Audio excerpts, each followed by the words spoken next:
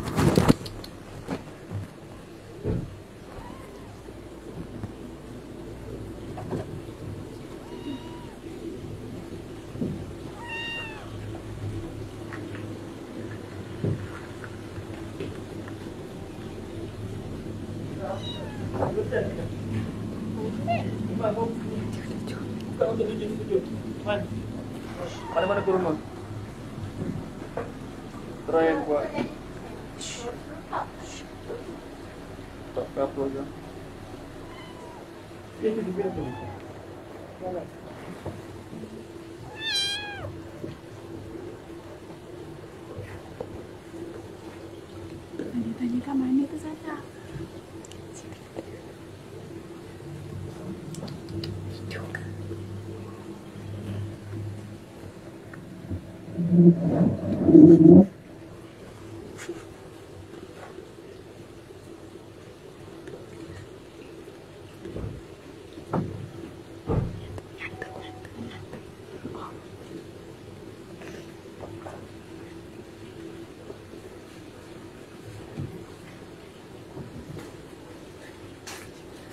cuba ambil Momo. Aku dah lari. Dalam kuat pagar. Tutup akar. Dengan Mimi. Mimi sekali, mak dia.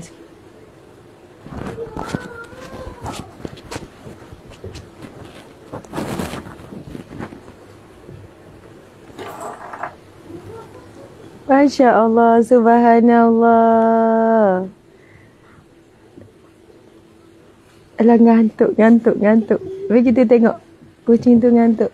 Anak kucing ni umurnya baru um, nak masuk tiga bulan. Alah. Eh, kena tengok jauh sikit baru nampak dia anak kucing. Hmm, ngantuknya dia. Okey, okey. Mari sini, mari sini. Mari sini. Ha. Ya, ya, ya, ya, ya, ya. Mari, mari. Ya, ya, ya. Kecil, kecil, kecil, kecil, kecil, kecil, kecil. Okey, main sini anak. ah, ya, ya. Tak, tak. Okey, okey. Shh, shh. Okey, okey. Sabar, sabar. Sabar, sabar. Okey, bismillahirrahmanirrahim. Ha, kena ya, tak apa jauh jauh dulu. Nampak ini anak-anak ni. Umur anak-anak ni berapa? Sebulan lebih? Tak kan?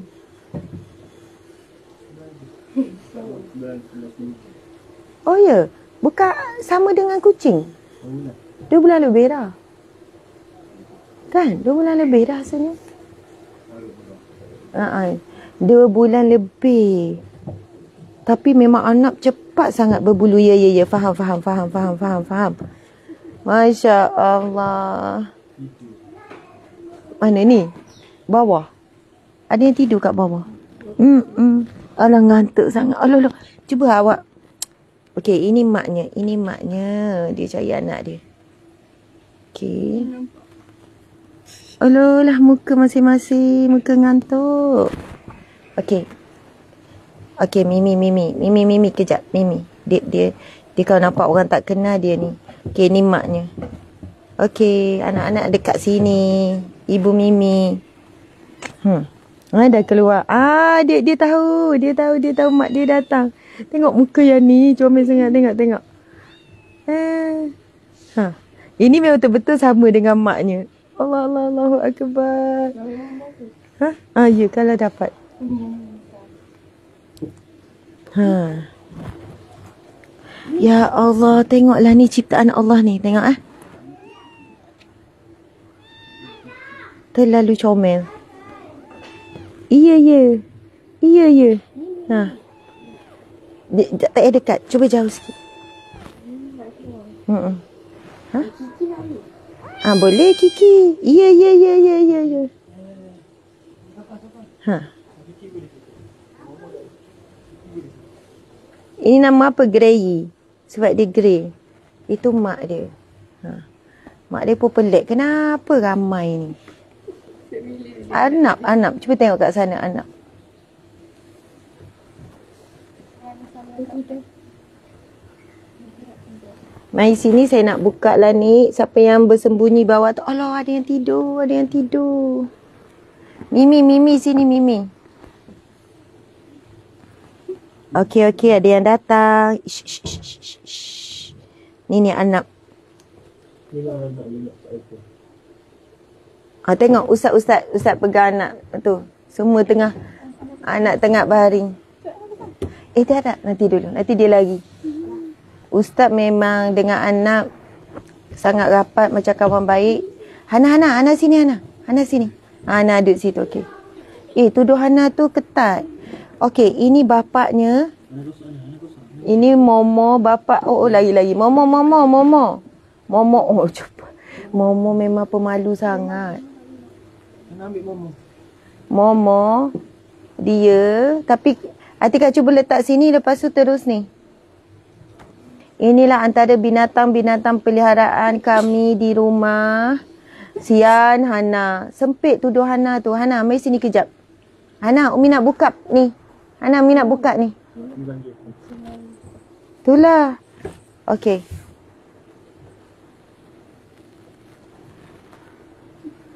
Kejap ah. Okey. Okey. As- ah, Sarah ni Sarah. Okey, terus terus gosok dia. Shh. Ini dia manja. Kalau kita gosok, mama mama mama mama sabar mama. Tengok tu. Ha. Kalau tengok mama tu, bapak tu betul-betul sama dengan yang ni. Tengok. Nampak tak sama? Ha, yang ni memang ikut bapak. Tapi bapaknya tu memang pemalu sangat. Pemalu dan takut orang. Ha, ni, ni, ni. Ni betul-betul kopi bapak tu. Momo, Momo sini. Tengok tu menyorok belakang tiang. Nampak tak Momo? Tapi besar dia, besar. Ha. Tengok, tengok, tengok. Uh, Ustaz, uh, anak pun suka di... Uh, awak kena anak pun memang suka di dibelai. Nampak tak? Elok betul. Tiba-tiba jadi anak juga. Yang ni tak sedar ke dia, dia kucing? Ha? Tak sedar ke dia kucing? Dia tiba-tiba dia jadi anak. Ha? Subhanallah. Okey. Tengok ni. Ha, tak apa Atika pegang. Atika duduk. Tengok. Ini Kiki. Seekor lagi. Ah, ah, dah. Tak apa. Okey. Tengok. Cuba tengok mata Kiki ni kan. Dia warna apa? Siapa boleh nampak warna mata Kiki? Ha, ini seekor lagi namanya Kiki.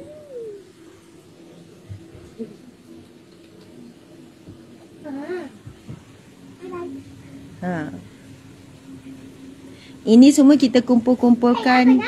Ha, cuba-cuba Atika letak te, te, ha, ni biar uh, mata dia diam. Tak nampak tu. Nampak ah? Mata dia macam biru lembut macam tu. Ha. Okey, sebenarnya kita kumpulkan anak-anak. Ini anak-anak, anak-anak semua memang lima ekor dan anak kucing empat ekor. Boleh nampak, dia orang boleh kawan. Sebab dia orang pun tengok-tengok yang tu kan. Dia kata siapa duduk cium-cium anak. Arnab sebab dia kuku. Uh, kalau lagi laju, dia licin bila atas uh, ni kayu. Ha. Okey. Ini belakang ni. Tora. Sini sini sini sini. Shh, Ini kena pegang. Tak tak okey. Kita buat macam ni. Eh eh eh diam diam diam diam. Okey okey. Ha. Okey. Jangan jangan. Putih, gebu, bersih. Yang rajin jaga anak adalah uh, Lumayan. ah ah. Us, uh, Ustaz Tengku dan juga anaknya Lukman. Lukman. Ha, tu yang selalu jaga anak. Ada belakang nanti kita pergi tengok sangka anak. Lepas tu ni ni ni satu lagi binatang peliharaan anak-anak kami. Uh, okey tuan puan anak-anak ni kami anak-anak ni dia tak main game. Uh, ha? Ha, lepas tu masing-masing tak ada walaupun Atika dah umur 16 memang tak ada phone tak ada media sosial tak dibenarkan main game daripada kecil memang tak ada main game tak Sarah? tak Lepas tu tapi mereka ada banyak aktiviti di rumah. Boring tak kat rumah? Tak. Diorang memang tak nak duduk asrama dan anak kami memang tak ada yang duduk asrama. Dia tinggal tunjuk. Okey. Tapi aktiviti mereka adalah uh, dengan binatang dan juga dengan tumbuhan. Nanti kita akan TV ustaz macam mana jaga anak. Ustaz memang pandai dah. Kan? Saat kahwinkan anak sampai anak tu mengandung, lepas tu bila tahu mengandung, ustaz tahu bila nak bersalin, ready kan nak bersalin, pas bersalin patut buat apa. Sebab bini dia, isi dia dah tak bersalin, dah tak mengandung. Ha, jadi, dia uruskan binatang pula mengandung bersalin. Betul tak Atik Sarah? Lepas tu jaga baby anak. Ha, tak perlu baby orang kan? Ha, InsyaAllah. Okey, Atika. Atika kan nak jadi doktor haiwan kan? Sebab apa Atika suka jadi doktor haiwan? Boleh tolong haiwan. Lagi? Hmm. Bila tengok haiwan tu saya nanti kita gembira. Saya memang sayangkan haiwan. Okey. A- Lepas tu Atika berani ke macam nak buat pembedahan ke? Yelah macam-macam kan haiwan ni. Berani? Haiwan buat Berani? mudahan Hai, ha- haiwan buat pembedahan sendiri? Ah, yang ah, Mimi Oh, bukan eh, Mimi tu. Tu Mimi tu dia cak. Mari sini. Mari sini. Memang betul. Eh, Sofan sini. Ha, Sofan cakap apa? Haiwan bukan pembedahan. Haiwan lahirkan anak sendiri. Ha. Hebat kan haiwan? Hmm, kenapa dia kena hmm, Kalau manusia nak bersalin, kalau manusia nak bersalin kena ada orang tolong kan? Tapi binatang boleh seorang-seorang kan? hmm. Tak tahu dia beranak kan? Sama juga dengan hamster ni. Okey, lagi hamster ada berapa ekor Atika? Lima Satu, dua, tiga, enam. empat, lima, enam. Dah Okey, Safan tepi sikit. sepuluh ke? Okey, kita tengok. Okey, ini pula hamster. Allah Akbar. Naik ke sepuluh? Tengok, tengok, tengok. Dia manjat. Hamster ni, tu apa sekali? Ini mak dia eh? Ini mak. Um, kesian mak. Okey, mak sebenarnya hari tu bila mengandung besar lah kan, Atika kan?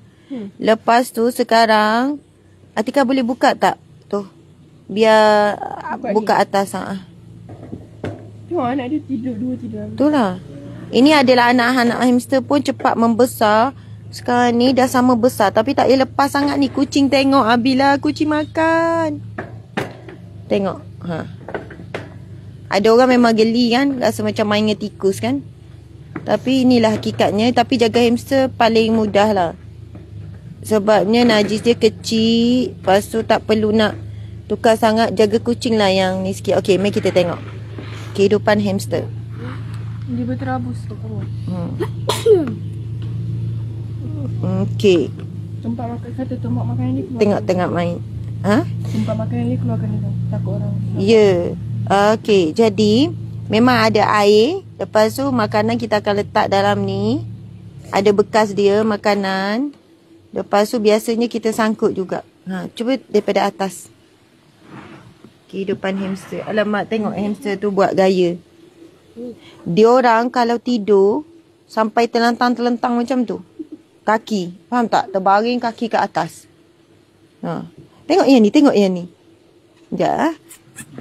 Yang ni, yang ni, yang ni, yang, yang, yang ni. Dia duduk buat terbaring-terbaring. Tengok, dia gurau. Tengok ni. Nampak tak ni? Ha. Gurau senda. Tengok yang tu, tengok yang ujung tu. Tengok tu. Masya Allah. Telefon siapa? Okey. Satu Biar orang lain tolong. Biar orang lain tolong. Hmm? Nak apa? Ambil, ambil, ambil. Ambil, ambil. Panjang Ha, tengok, tengok yang ni panjat ni. Dia orang memang boleh keluar. Dia orang boleh panjat sampai atas. Okey, susah eh nak tunjuk hamster. Ha, gitu. Hana, Hana ambil satu hamster. Hana ambil satu. Memang saya ambil satu. Okay. In, takut. Tak apa, tak apa. Ini baby hamster. Baby dia memang uh, susah sikit sebab laju. Laju. Susahnya kamu. Kalau dia takut dia berak dalam kamar. ya, kalau dia takut dia berak. Oh, Fatimah. Fatimah. Fatimah. Ramai lah hands um, Allah kebat rambut Fatimah. Okay, tengok anak ni. Anak pun suka dibelai tengok anak.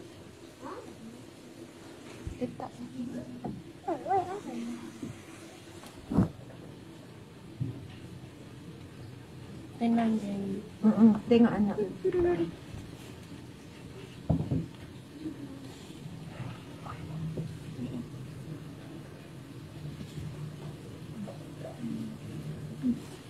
Tengok anak.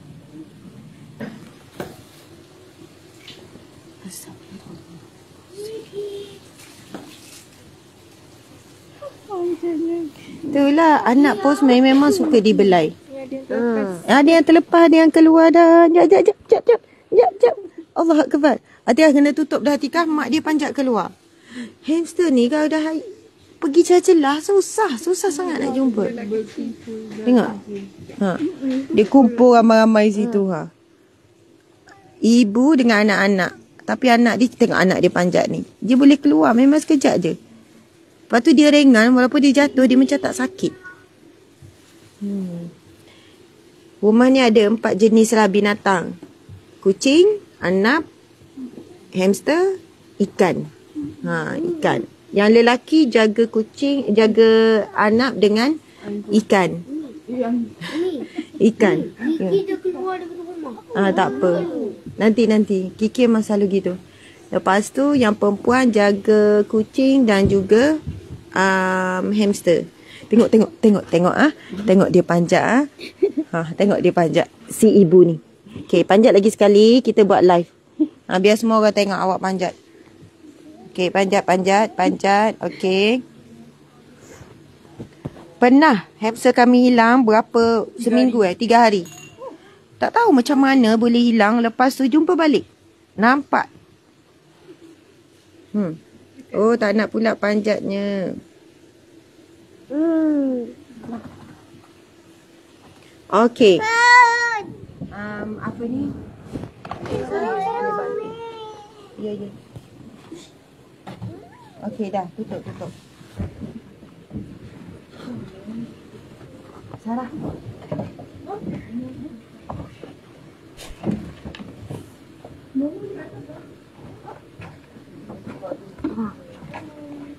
Dek, Islam. Ada hati-hati. Dalam dalam persekutuan buat baik terima.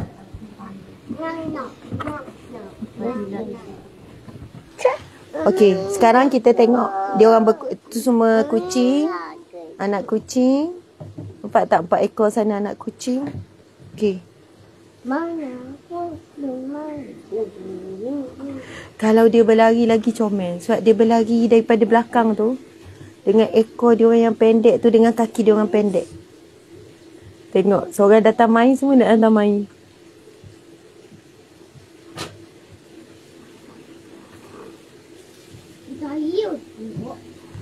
Dia kata macam sama dengan dia kan tapi apalah ni. Macam sama.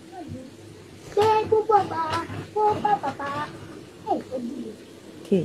Hana, Hana, Hana. Ha. Hana hati-hati anak. Anak memang dia depan ni kita akan bersihkan lah ni. Anak memang kalau dia berak tu memang laju. Memang asyik asyik berak je. Sebab tu ada sistem kat belakang tu. Nanti kita tunjuk sangka anak macam mana. Ah, ah tu dia diam walaupun orang rio dia tidur. Yang hujung tu kan. Cuba cuba awak ni. Tunjukkan Umi tu. Umi. Ini Momo. か入っていると。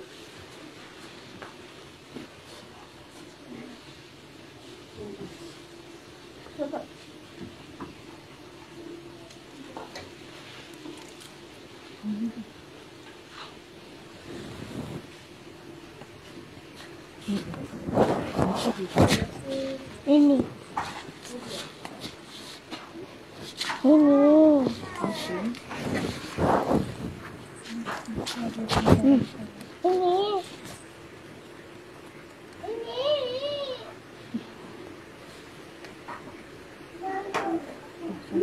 Ini.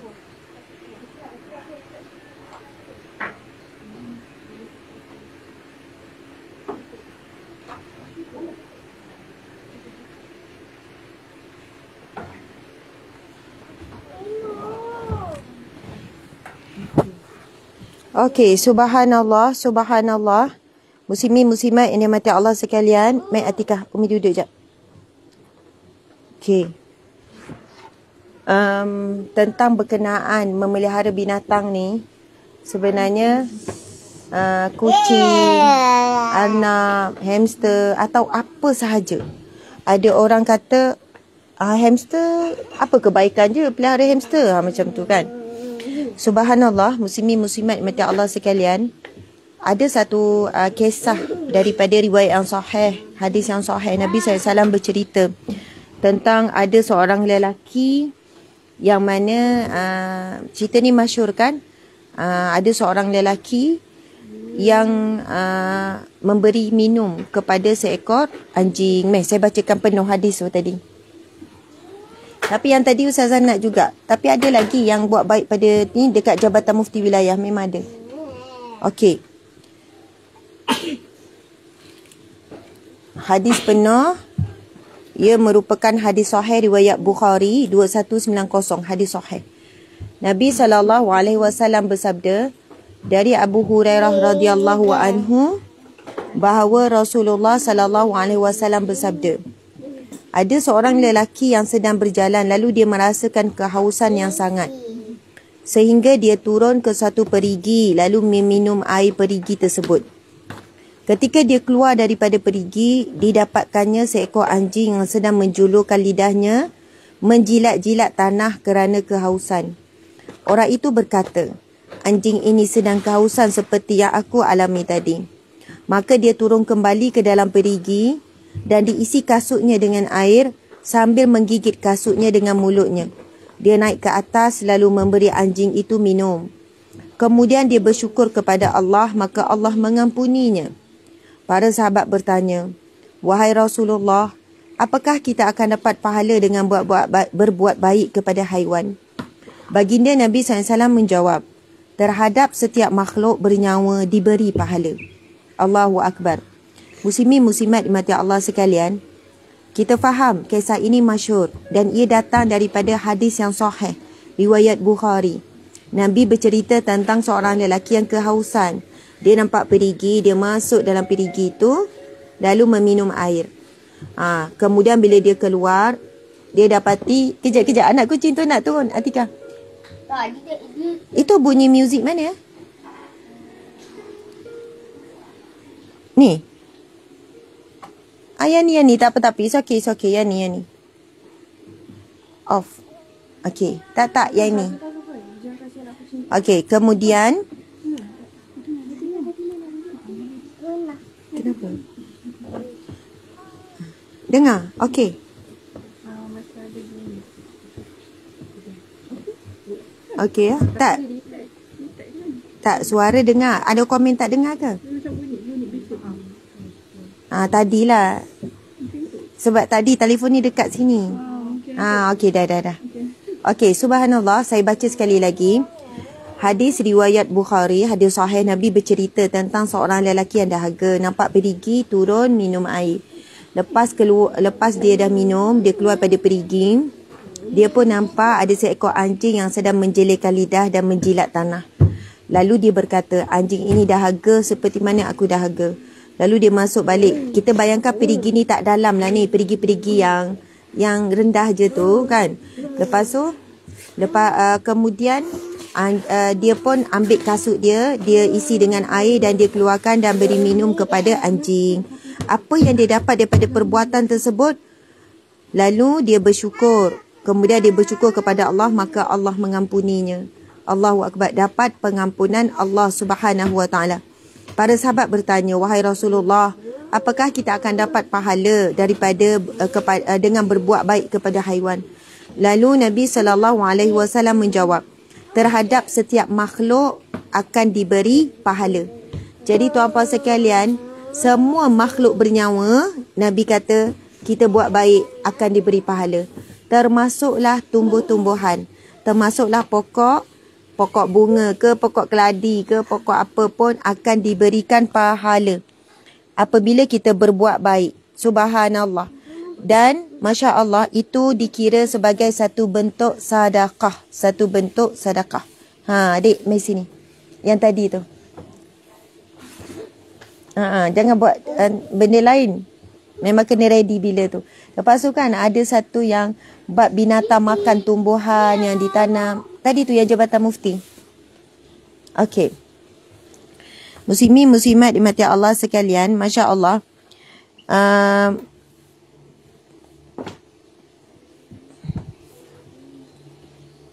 Okey. Kita tengok ada satu firman Allah. Mari sini seekor anak kucing. Eh, anak pun makan makanan kucing. Oh, boleh ke? Takut Eh, sekarang ambil makanan anak. Anak dah lapar. Satu anak keluar. Satu kucing keluar. Okey. Atika, ambil makanan anak. Anak lapar sampai tengok. Cuba tengok. Anak tu dia tak sedar dia anak. Dia makan makanan kucing. Eh. Ah, ni Luqman bawa makanan anak. Anak lapar. Anak dah lapar. Tengok ah dia, dia, dia macam terkejut tengok macam tengok tengok kucing yang belakang tu duduk duduk hidu. Masya Allah. Belakang ni. Allah. Belakang ni. Umi. Belakang ni. Umi, belakang ni. Belakang Umi Nah, ada anak. ada anak. Ada kucing. Ha ah. Dia bergabung. Ha ah. Biar biar uh, Sofan duduk. Nanti kucing tak boleh nak lalu. Hmm. Okey. Tengok anak lapar lah. Siang dia. Dia pergi terai makanan kucing. Ada makanan ni tak semestinya daun. Makanan yang bulat-bulat tu lah. Makanan dia tu. Sekali dengan bekas air dia. Ambil. Okey. Muslimin muslimat dimati Allah sekalian. Masya Allah sambil-sambil tu ya. Tak apa, jauh, buat jauh sikit pun tak apa. Biar nampak uh, apa ni binatang. Okey. Nabi SAW, eh, ini firman Allah. Allah berfirman dalam surah Al-An'am ayat 38. Surah Al-An'am ayat 38. Luqman sekali dengan air. Atika biar biar anak duduk sebelah sini. Anak kumpul, ah tengok dia datang, anak datang, anak lapar. Biar sebelah sini sikit anak. Atika tarik makanan sampai ujung sana. Ah, ah ya. Biar dia berkumpul kat situ. Lepas tu ambil anak, buat pergi kat makanan dia. Dia tak tahu tu. Sibuk makan makan kucing. Ah, Atika bawa, bawa anak tu. Ah, bawa, bawa. Bawa dia ke kat tempat makanan dia. Okey. Atika.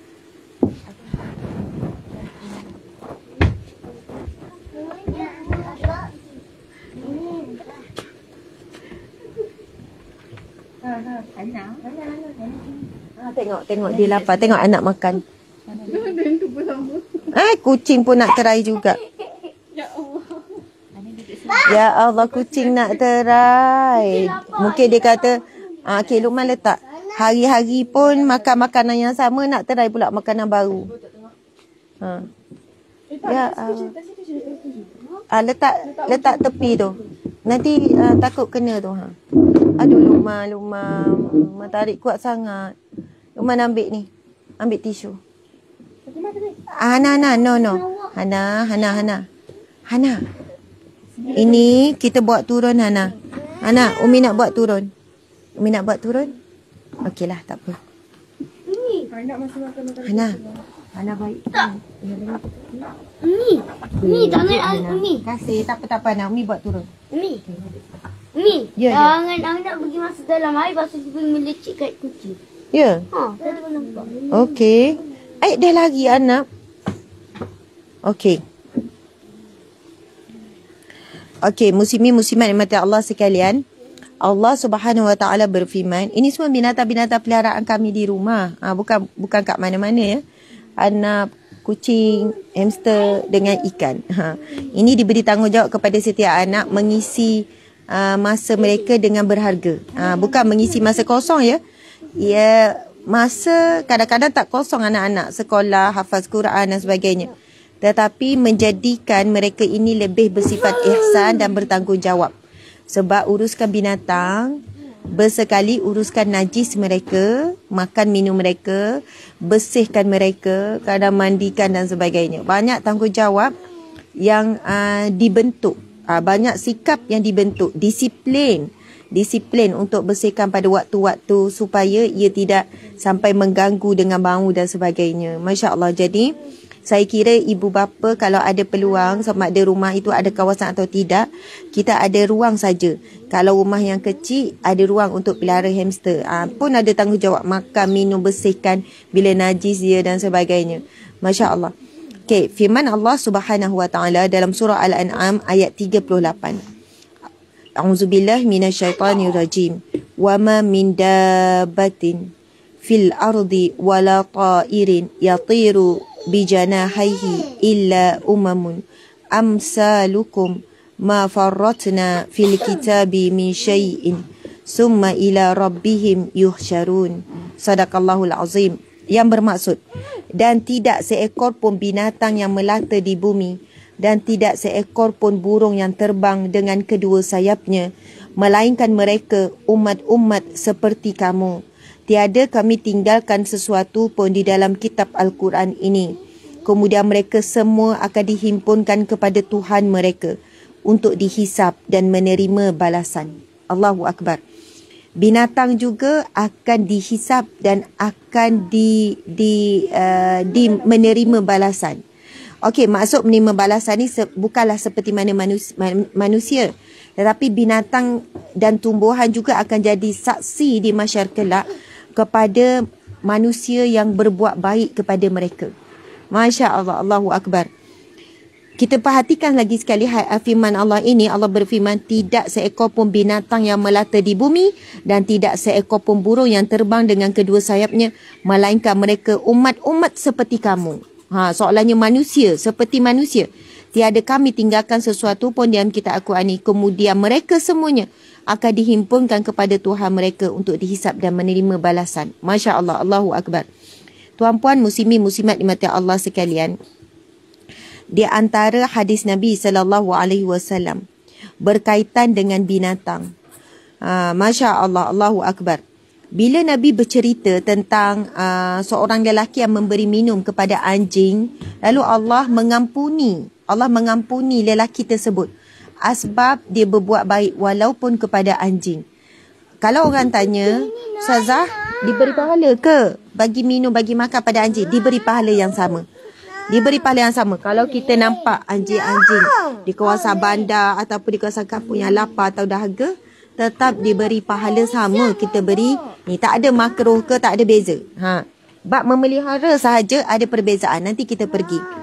Okey, muslimin muslimat dimati Allah sekalian. Nabi sallallahu alaihi wasallam ditanya oleh para sahabat, "Ya Rasulullah, wa inna lana fil bahaim ajran." Duduk. Atikah bagi bagi Hana duduk. Wahai Rasulullah sallallahu alaihi wasallam, adakah bagi kami atas perbuatan terhadap binatang juga ada pahala? Ha, sahabat bertanya, apa yang kami lakukan terhadap binatang ada pahala juga ke? Rasulullah sallallahu alaihi wasallam bersabda, Naam fi kulli dhati kabidin ratbatin ajrun. Yang bermaksud benar, bagi setiap hati yang basah bersikap ramah ada pahala. Okey, okey, Hana. Nabi sallallahu alaihi wasallam bersabda, Ha. Masya Allah, buat baik kepada setiap hati yang basah. Maksudnya binatang yang bernyawa semuanya ada pahala. Ha, tak kira lah Jaga hamster dapat pahala, dapat pahala. Masya Allah, kena beli nak nak ikan. Ah nak gigi gigi. Beli basikal. Okey. Itu adalah hadis riwayat Bukhari 2363. Masya Allah, Allahu Akbar. Muslimin muslimat dimati Allah sekalian. Saya terus nak jawab lah. Mungkin ada yang bertanya. Apa hukum memelihara anjing? Anjing dikenali seekor binatang antara yang paling cerdik. Yang paling bijak. Ya, ya, ya. Ah, mm, dia tunjuk. Dia tunjuk Momo. Padahal uh, tidur-tidur. Kejap tengok yang hujung sekali tu tidur. Boleh tak zoom? Tengok dia tidur comel je. Mana? Ha ah. You. Bangun. Bangun dah. Ha bangun. Okey Fatima. Cakap hai. Tima. Okey, mari sini. Masya Allah. Hey. Memang cute-cute sangat. Comel-comel sangat. Masya Allah, geram sangat. Ya, ya, ya, ya. Okey, okey. Okey, Masya Allah, muslimin muslimat. Uh, berkenaan dengan hukum. Tak, minta ni. Sensor, jari dia, jari dia. Berkenaan dengan hukum memelihara anjing. Uh, beri makan, beri minum memang tidak ada pertikaian. Dapat pahala seperti mana beri makan, beri minum kepada binatang yang lain. Tapi bila melibatkan anjing, ada perbahasan. Ada daripada hadis Nabi sallallahu alaihi wasallam. Rasulullah sallallahu alaihi wasallam bersabda, "Mak manik tuna kalban illa kalaba saydin aw mashiyah fa innahu yanqutu min ajrihi kulla yawmin qiratan." Barang siapa yang memelihara anjing kecuali anjing untuk berburu atau mengembala maka akan dikurangkan daripada pahala hariannya sebag, se, uh, sebanyak satu kirat.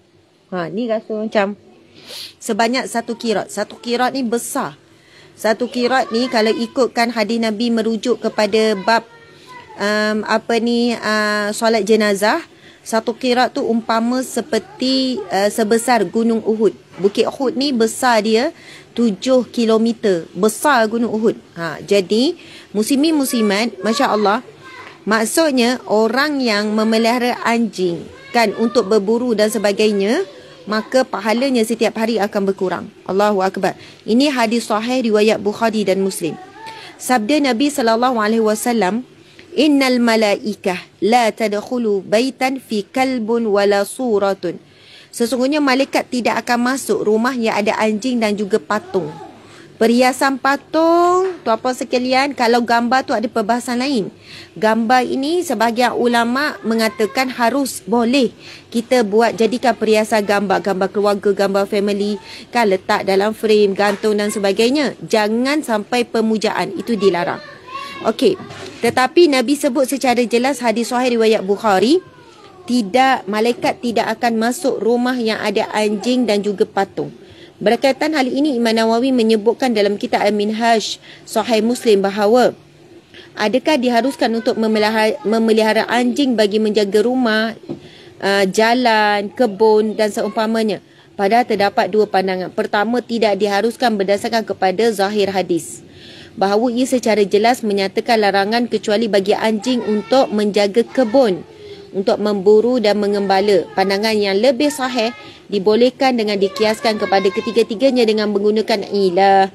Jadi jika ada keperluan, biasa muslimin muslimat, orang Islam kita, orang Melayu Islam kita pun contohnya di saya jumpa biasa orang yang ada kebun besar, kebun getah, kebun sawit, orang Melayu Islam kita di kawasan-kawasan kampung muslimin muslimat memang ada uh, yang bercerita yang bagi tahu makcik-makcik dia kata kalau upah kalau upah jaga tak ada jaga nak jaga tengah hutan tengah malam semua takut. Kau nampak hantu ke apa ke? Lepas tu kebun tu luas beberapa ekar. Nak berapa orang jaga ha, sebab apa? Orang uh, kalau nampak ada orang kat ujung sana kan? Ujung sana nak pecah masuk pun memang tak sempat pun nak kejar pencuri. Ha, macam tu. Tapi anjing ni dia sang binatang yang bijak dan sangat peka. Kan? Allah berikan kepekaan uh, bunyi bunyi telinga dia tap, dapat tangkap walaupun bunyi yang sangat sangat perlahan. Dan mata dia walaupun pada waktu malam terang macam mana dia boleh sensitif walaupun dia tidur kan dia berlari dengan laju ha, jadi jadi di sana adanya bila ada keperluan maka harus. Maksudnya ada keperluan. Ha. Jadi untuk rumah tidak dibenarkan. Ha. Masuk dalam rumah siapa yang pelihara di rumah malaikat rahmat tidak masuk. Malaikat tak masuk. Jadi bila rahmat malaikat tidak masuk bagaimana rahmat nak masuk ke dalam rumah kita? Masya-Allah Allahu akbar. Okey ada yang tanya, ustazah saya tanam pokok begitu begini tapi binatang pula makan. Ha ini memang ada hadis Nabi yang mana Nabi SAW sebut diberikan pahala sedekah. Ha, tunjuk, tunjuk. Ah ni dah bangun. Ini yang antara yang paling cute, paling cute. Masya Allah awak. awak. Ya, ya. Awak tahu tak awak cute? Ya lah. Ha? Ha? Ha? Masya Allah. Tengok ekor dia. Kau kucing. Tak yalah kesian kucing. Kucing baik. Tak payahlah pakai. Bukan nak pergi jalan. Okey. Bismillahirrahmanirrahim. Nabi sallallahu alaihi wasallam bersabda, tidaklah seorang muslim yang menanam tanaman atau menabur benih. Boleh boleh. Atika Atika tolong. Tidaklah seorang muslim yang menanam tanaman atau menabur benih. Lalu hasilnya dimakan oleh manusia, burung atau binatang ternak. Melainkan hal tersebut menjadi sedekah baginya. Masya Allah. Sekali lagi ya. Siapa yang Nabi kata tidaklah seorang muslim yang menanam tanaman atau menabur benih lalu hasilnya dimakan oleh manusia, burung atau binatang ternak. Melainkan hal tersebut menjadi sedekah baginya. Masya Allah. Jadi muslimin-muslimat, bila kita bagi makan kepada binatang, macam tadi hadis yang pertama hadis sahih Nabi sebut akan diampuni. Beri minum, beri air akan diampuni Allah dosa. Allah akan mengampuni dosanya. Yang kedua pula diberi pahala sedekah. Diberi pahala sedekah. Jadi uh, dalam kita uh, seronok sebenarnya buat baik pada binatang, ihsan pada binatang tanpa sedar dalam waktu yang sama kita dapat pengampunan uh, daripada Allah. Ha dan kita dapat kita dapat juga uh, pahala sedekah. Yang tu ngantuk penat dia baring dia tidur nampak tak? Tak kisahlah orang nak bising ke apa tengok baring je. Awak naik dia orang, awak pergi fokus dekat dia orang tengah minum. Empat ekor berkumpul tu.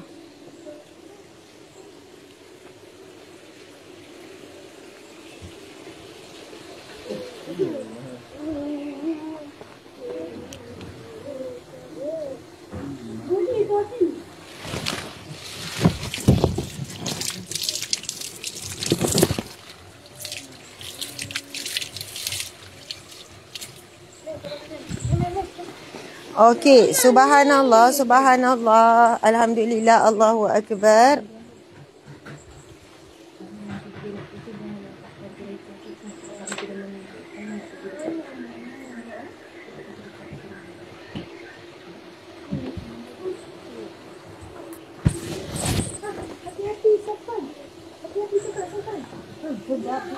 Dia cepat lari, hamster cepat lari. Ada yang tu pen, ngantuk sangat.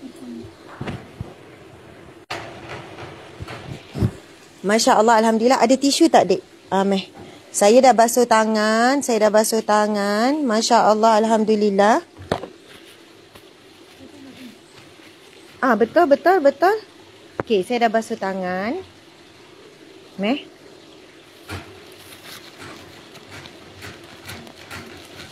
Okey. Lepas tu, ah, meh. Satu lagi, Ustazah nak dua. Muslimin muslimat dimati Allah sekalian. Ha, sambil menyelam, sambil minum air. Masya Allah, muslimin muslimat. Mungkin ada yang ramai dah tahu, tapi saya rasa ramai juga yang tak tahu. Masya Allah. Sebenarnya dah masuk tahun yang kedua. Dah dua tahun dah kami sebenarnya uh, menjual kurma dan kami uh, sebenarnya uh, membekalkan juga kurma dijual secara borong ataupun runcit. Dan kurma-kurma ini, siapa yang pernah ikuti live kami di Mekah dan juga di Madinah, kami pergi ke kebun kurma dan pilih sendiri kebun. Pastikan kebun itu berada di kawasan uh, kota Madinah supaya kami betul-betul dapat apa ni kurma ajwa aliyah. Uh, kurma ajwa aliyah iaitu kurma yang dalam dalam kawasan kota Madinah keluasan tak besar daripada Masjid Nabawi ke Kubah lebih kurang. Jadi kebun dalam kawasan uh, ini sebenarnya sangat terhad. Jadi kami jumpa sendiri pemilik kebun, bincang sendiri dan order. Kenapa dik? Mat. Okey. Kemudian muslimin muslimat kami uruskan sendiri uh, depan kebun pergi ke kilang di sana dan akhirnya masya-Allah kita dapatlah packaging yang direct packaging yang direct daripada Ustazah sebenarnya nak kotak-kotak besar ni. Ha ah.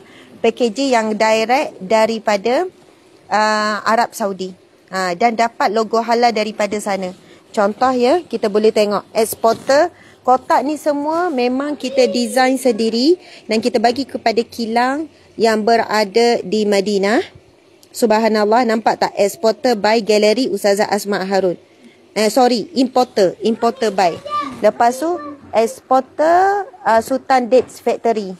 Nampak ya export oleh Sultan Date Factory memang kami pergi sendiri ke kilang yang berkenaan dan melihat sendiri proses di sana kebersihan dan sebagainya. Ustaz ustaz, jom sama-sama. Kami pergi sendiri dan bersama-sama melihat proses uh, daripada bermula daripada kebun kurma hinggalah uh, ke sini sikit ustaz. Ha. Kebun kurma hinggalah uh, uh, ke tem- ke kilang yang proses membungkus sebab kita nak pastikan kebersihan. Okey, kemudian cuba tengok importer. Ha, importer by Galeri Ustazah Asma Harun.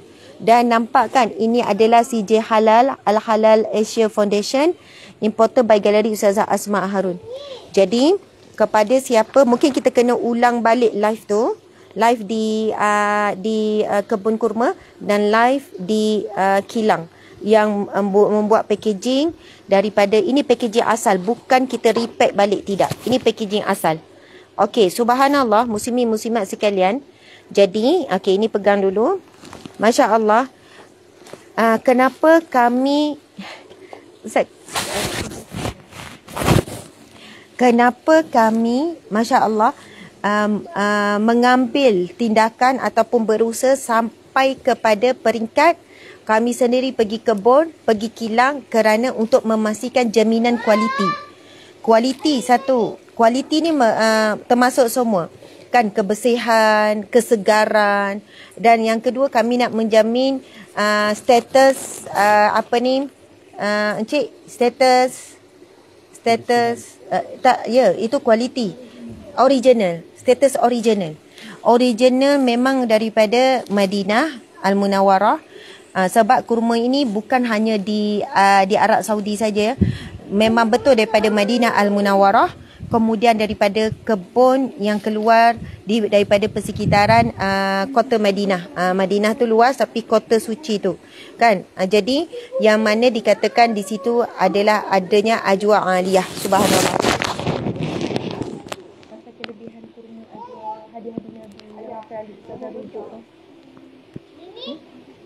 Ustazah tak nak Bila last dia kata temu Mesti kena temu Daripada dia banyak kali dah berlaku Lama macam dekat Dekat Apa tu itu Dekat itu dekat Dekat Dekat apa itu Ustazah dah malam Dekat apa tu Yeah dekat kau. Malam tu macam tu lah bagi saya rasa untuk untuk tapi susah saya nak bendek dengan pakai ni apa semua. Tu masalah kamu nak terima.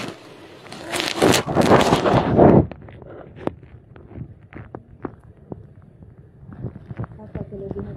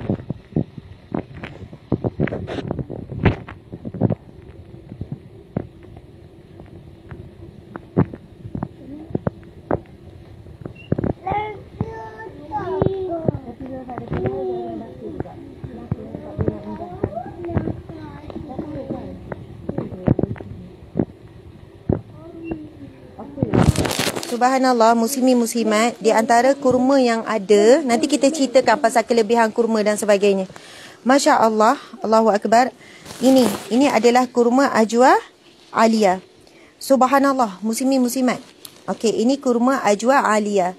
Ini kurma ajwa alia. Masya Allah, Allahu Akbar. Kena, Okey. Kurma ajwa alia ini muslimat adalah kurma ajwa yang disebut dalam hadis Nabi sallallahu alaihi wasallam. Iaitu barang siapa yang memakannya tujuh biji. Ada yang kata tiga biji. Ha, tiga biji pun insya-Allah akan dilindungi akan selamat ia pada hari tersebut daripada segala racun dan juga sihir. Masya Allah itu adalah hadis sahih. Jadi di sanalah adanya perbincangan ulama berkenaan dengan kurma ajwa aliyah. Adakah hanya kurma ajwa di sekitar kota Madinah? Ha, sebab kota Madinah ni bukan luas sangat ya. Daripada Masjid Nabawi ke Masjid Quba itu lebih kurang anggaran kawasan. Hanya kebun yang berada di sekitar itu sahaja. Ha, subhanallah. Kemudian ia keluaran kurma kita kena faham hanya setahun sekali sahaja kurma ni. Bukannya setiap bulan. Ha, lebih kurang dalam bulan 8 macam tu. Bulan 8, bulan 9 barulah dapat hasil setahun sekali. Jadi ini adalah kurma yang yang fresh, yang baru pada tahun lepas. Ha, bukan kurma yang telah disimpan 2 tahun, 3 tahun. Yang tak habis. Kami memastikan nak memang nak kurma yang fresh, yang terbaru. Sebab itu harga kurma sedikit, mungkin sedikit tinggi dan sedikit mahal. Ha, Masya Allah. Okey. Jadi sahabat-sahabat, ini kurma ajwa aliyah. Uh, satu kotak ni adalah 5 kg. Okey, 5 kg hanya berharga 540. Bermaksud dia jatuh pada 1 kg berapa? Kalau beli satu ni 1 kg jatuh berapa? Hmm? 600. Faham tak? Siapa yang beli satu kotak 600 apa 600 harga 400 540. Ha? Okey. Siapa yang beli muslimin muslimat satu kotak terus. Saya lebih menyarankan tuan-puan kalau nak beli kurma ajwa alia dan itu yang kami sebutkan. Kami bukan hanya jual secara runcit, kami juga jual secara borong yang mana anda akan dapat pencimatan yang berganda. Maksudnya bukan semestinya anda kena beli 10 kotak, 20 kotak. Cukup kalau anda beli satu kotak sahaja yang uh, uh, apa ni satu kotak 5 kg sebenarnya anda dah dapat penjimatan. Ini satu kotak harganya RM 540. Tapi kalau beli 250 gram lainlah harga. 500 gram lain harga, 1 kg lain harga. Kalau beli 1 kg macam kotak 1 kg, ha, kita memang ada buat packing 1 kg. Tuan-puan sekalian, ini 1 kg. Cantik packaging Hijrah Dates. Siap dengan plastik nampak ya. Maksudnya kita kekalkan kesegaran. Nampak ya? Maksudnya kena buka dulu plastik ni. Ini 1 kg. Nampak tak? Okey, kalau 1 kg nak dapat nak dapat 5 kg jadi harganya tuan-puan boleh tengok sendiri. Kalau beli 1 kg ni Dek, Alia, mana Alia 1 kg? Okey. Contohnya kalau 1 kg ni, Masya Allah, harganya adalah 120. Beli 1 kg ni. Ajwa Alia. Harganya 1, 120.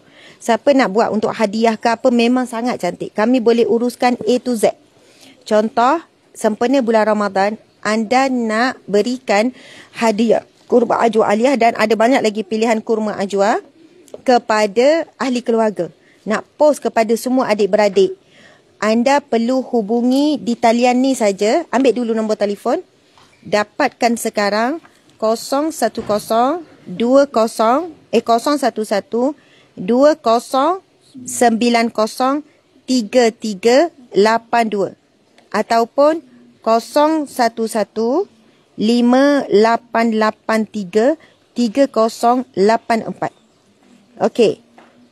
Sekali lagi saya ulang. Ambil dulu nombor ni. Beli tak beli nombor dua. Ambil dulu tuan-puan sekalian. 011 20 6 011 20 90 3382 ataupun 011 5883 3084. Masya Allah. Okey. Muslimin muslimat. Memang kurma ajwa yang paling berkualiti adalah kurma ajwa alia. Alia tu sendiri maksud dia tinggi. Ha, dek, boleh bagi kat Ustazah hadis Nabi. Ustazah nak baca berkenaan dengan kurma ajwa aliyah ni yang merupakan hadis yang sahih yang dibincangkan dalam Jabatan Mufti Wilayah Persekutuan tu. Okey, muslimin muslimat dimati Allah sekalian. Mari kita tengok ya kualiti kurma ajwa kita. Masya Allah, ini kurma ajwa aliyah. Boleh nampak ya? Uh, lembut, basah. Mari kita ambil contoh satu. Bismillahirrahmanirrahim. Lembut, Masya Allah, juicy sebab ini adalah kurma ajwa aliyah yang ter kotor. Jangan. Okey. Kurma ajwa yang paling terbaru, paling fresh yang baru dituai pada tahun lepas. Kena faham kurma ini hanya uh, uh, membuahkan hasil okey setahun sekali dalam bulan 10, dalam bulan 8, uh, macam tu 8 hingga ke 10. Jadi ini memang yang terbaru. Uh, kalau kata oh, Ustazah dah standby lah tu, pilih. Kita buka je mana-mana boleh nampak. Juicy, lembut. Ini adalah kurma ajwa aliyah. Masya Allah. Okey. Subhanallah, dek. Cepat, dek. Okey. Ini kan Ustazah, uh, boleh tak ambil telefon lain. Ini sebab ada skrin tu, Ustazah tak nampak nak baca. Gelap. Okey. Kita boleh ambil je yang mana-mana. Cuba tengok. Masya Allah, Allahu Akbar. Okey. Tuan-puan sekalian, bayangkan. Saya cuma minta tuan-puan bayangkan. Ini adalah satu kg. Saya cakap betul ni tuan-puan sekalian. Ada orang menjual kurma ajwa aliyah 500 gram, RM150 ada. RM120 ada. Bayangkan ya, 100 gram, 500 gram bukan 1 kg. 500 gram anda boleh tengok di pasaran, harganya boleh mencecah sampai 150. Tapi ini 1 kg hanya 120. Tetapi lagi jimat bila anda beli 5 kg terus, 5 kg. Ini satu kotak 5 kg, ini 5 kg. An- jatuh kepada 1 kg 108 ringgit saja. Betul ke 108 ringgit? Okey, kalau anda beli 5 kg terus satu kotak kita post, anda akan jimat lebih kurang RM60 kerana jatuh ke uh, satu satu kg hanya RM108. Subhanallah. Itu kalau beli satu kotak. Bayangkan jika anda membeli kurma ini 10 kotak, harganya lagi berbeza. Sebab itu kepada siapa yang ingin berniaga, sempena ibadah korban ibadah eh, ibadah korban. Ibadah Ramadan ni siapa nak berniaga nak menjual semua jenis kurma yang kita ada di atas ini yang kecil comel. Nampak tak? Ini adalah 250 gram. Ini 250 gram kita ada 250 gram kita ada 500 gram dan kita ada 100 uh, 1 kg. Okey kita boleh nampak ya perbezaan. Ini 500 gram The Hijrah Dim Dates Exclusive Dream Dates Exclusive by Ustazah Asma Harun. Nampak ya?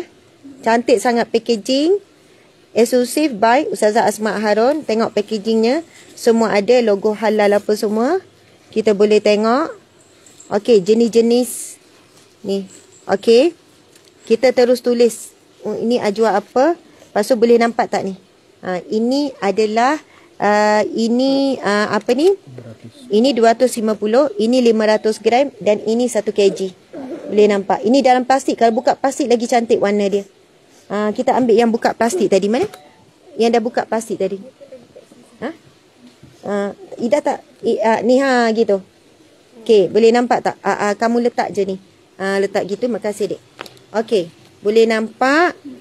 Uh, memang cantik, eksklusif, sesuai. Kalau anda nak jadikan ia satu bentuk hadiah, mungkin hantaran kahwin ke hantaran bertunang ke ataupun uh, kami kami juga tuan-puan sekalian buat hantaran. Kami buat dalam bentuk uh, hantaran. Okey. Kenapa ya? Okey. Sorry.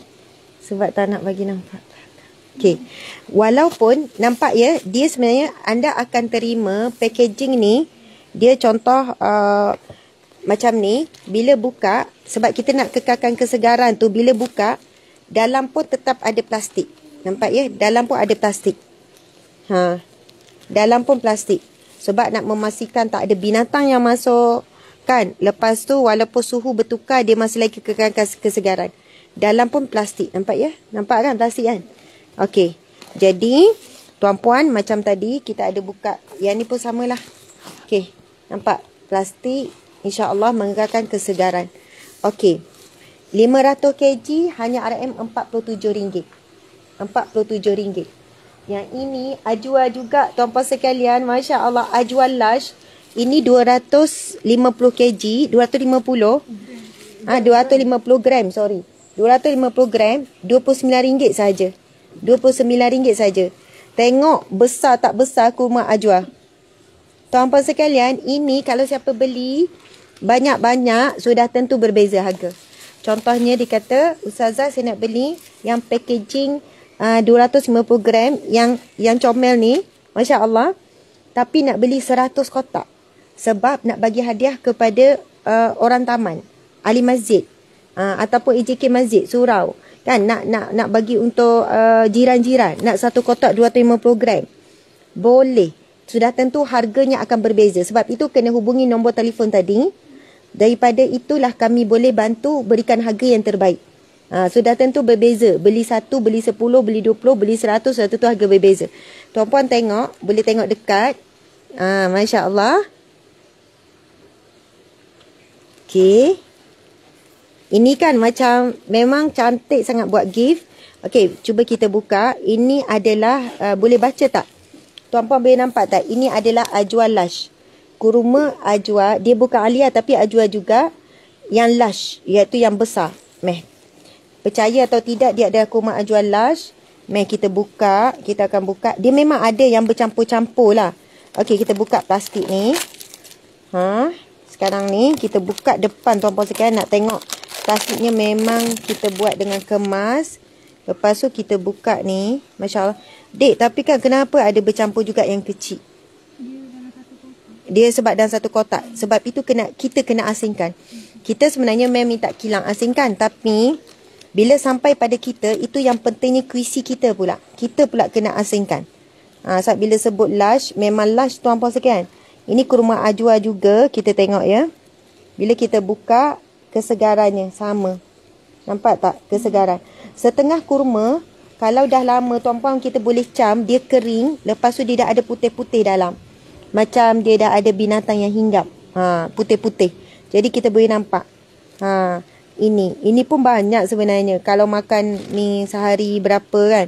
Ha, jadi, boleh nampak ini ada 250 gram, ini 1 kg dan ini adalah kotak 5 kg. Okey, subhanallah, muslimi muslimat. Dia kita kena faham, kurma ni bila dia kutip daripada pokok, lepas tu dia akan asingkan mengikut saiz. Kita tak boleh bergantung kepada kilang sana. Balik kita kena sini kena kuisi lagi. Bila ada yang kecil kena asingkan. Macam ni kan. Kena asingkan terus. Kita tahu ini kecil. Ha, ini yang small. Okey. Jadi tuan-puan sekalian, Masya Allah. Baiklah, uh, saya akan bacakan satu hadis Nabi sallallahu alaihi wasallam berkenaan dengan kelebihan kurma ajwa aliyah. Okey. Nabi sallallahu alaihi wasallam bersabda, "Man tasabbaha bi sab'i tamaratin ajwa, lam yadurruhu dhalika al-yawm summun wala sihrun." Sesiapa yang memakan tujuh biji kurma ajwa pada waktu pagi, tidak akan memberi mudarat sebarang racun maupun sihir kepadanya pada hari tersebut. Subhanallah.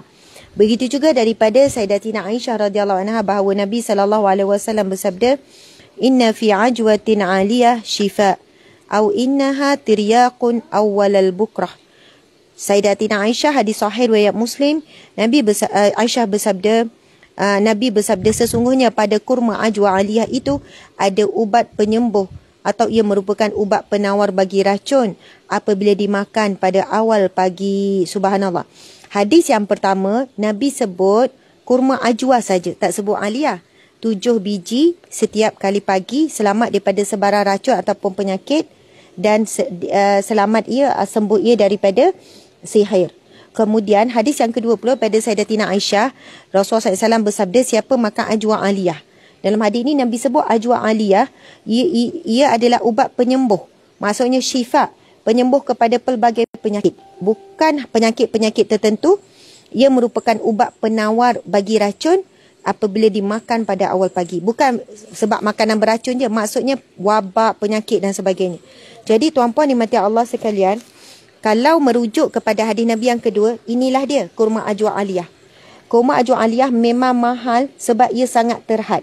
Dalam tempoh satu tahun, hanya kebun yang berada di persekitaran Madinah hingga ke Kubak saja, Masjid Nabawi ke Kubak saja, ada beberapa kebun dan ia sangat terhad.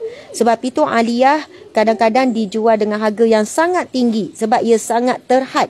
Ia tidak ada di tempat yang lain melainkan disebutkan dalam kawasan dalam berapa kilometer itu saja. Jadi berapa kebun saja. Sebab itu kami pergi sendiri ke kebun tersebut pastikan kurma yang kami beli aliyah ini tidak ada unsur penipuan. Jadi kita jamin, kita confirm, kita kita deal dengan uh, kebun tersebut, kita ambil pasu kilang mana. Jadi ini aliyah. Ajwa yang lain bukan aliyah. Kita cakap terus serang. Tetapi hadis Nabi yang pertama, Nabi tak sebut aliyah. Nabi sebut kurma ajwa saja. Sebab ajwa ni bukan hanya berada, dia ada kawasan lebih luas, kebun lebih banyak. Ha, kurma-kurma di di tanah Arab ini memang banyak. Jadi ada lagi kurma ajwa tapi bukan alia. Ha, InsyaAllah walaupun kurma ajwa tetapi hadis yang pertama menyebut umum saja kurma ajwa. Sebab itu di dalam Jabatan Mufti Wilayah ni memang dibincangkan secara panjang lebar. Bahkan ada orang kata Ustazah mahal sangat saya tak mampu beli kurma. 100 lebih untuk 1 kg saya tak mampu. RM29 untuk dua ni pun saya tak mampu. Ada tak kurma yang lebih murah? Dan adakah saya dapat? Ha, saya akan dapat sebagaimana hadis Nabi tu melindungi dan menyembuh daripada penyakit dan sebagainya.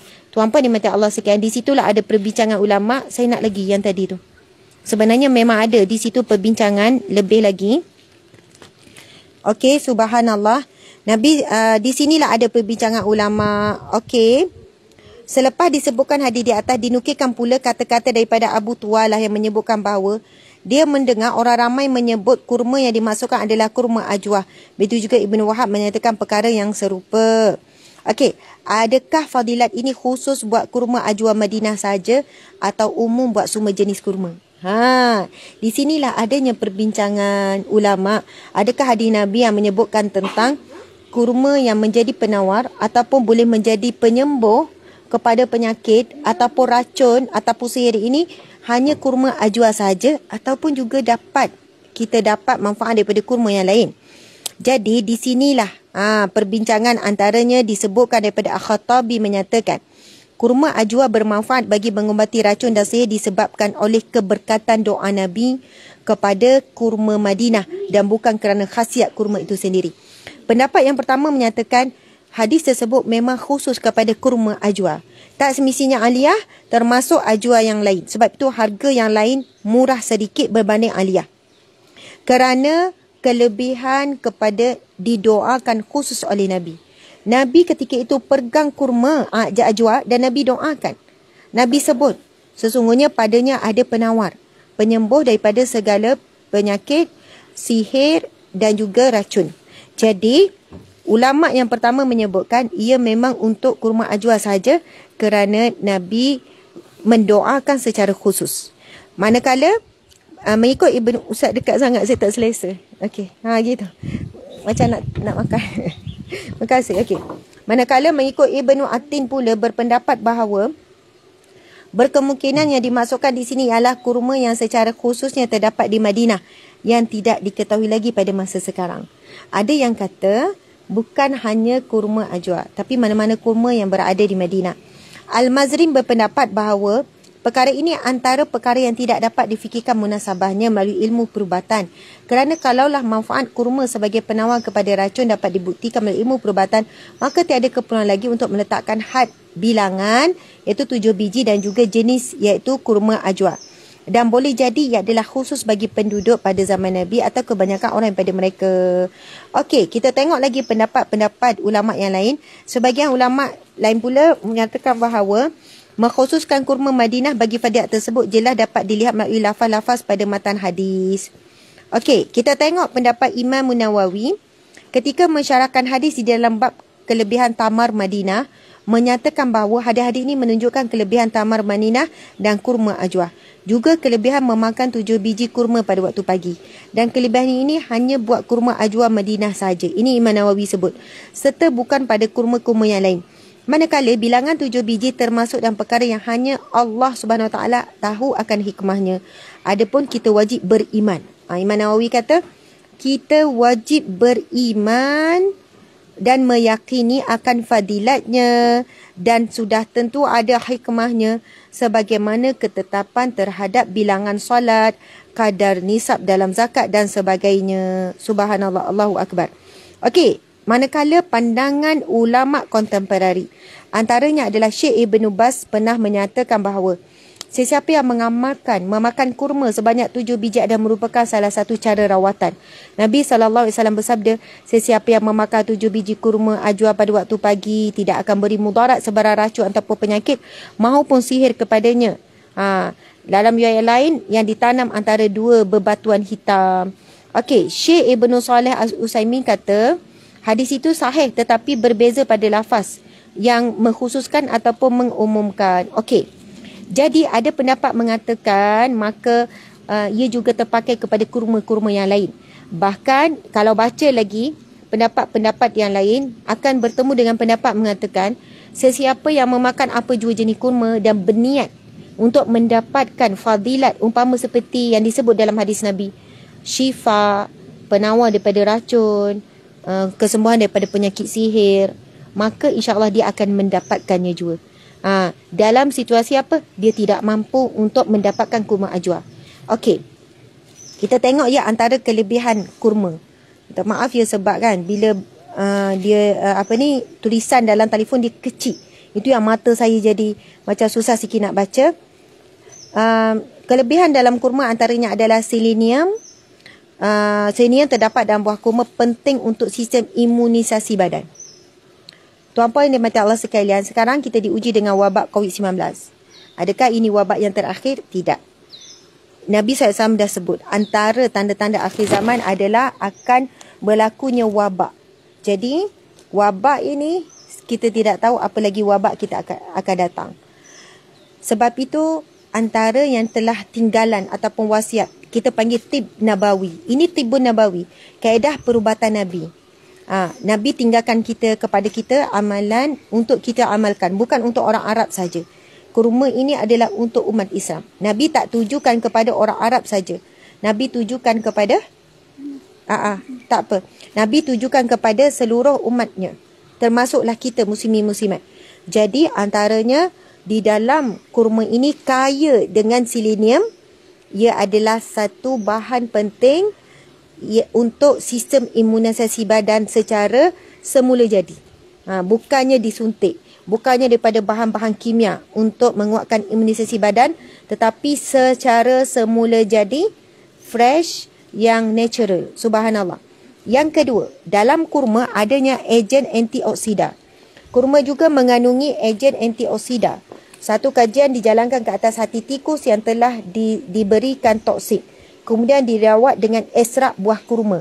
Ini saya baca Jabatan Mufti Wilayah ya. Kemudian dirawat dengan esrak buah kurma. Hasil menunjukkan bahawa buah kurma berpotensi sebagai ejen antioksida. Maksudnya dah ada racun, ada toksik, kemudian diberi ekstrak daripada kurma, dia boleh membunuh racun tersebut.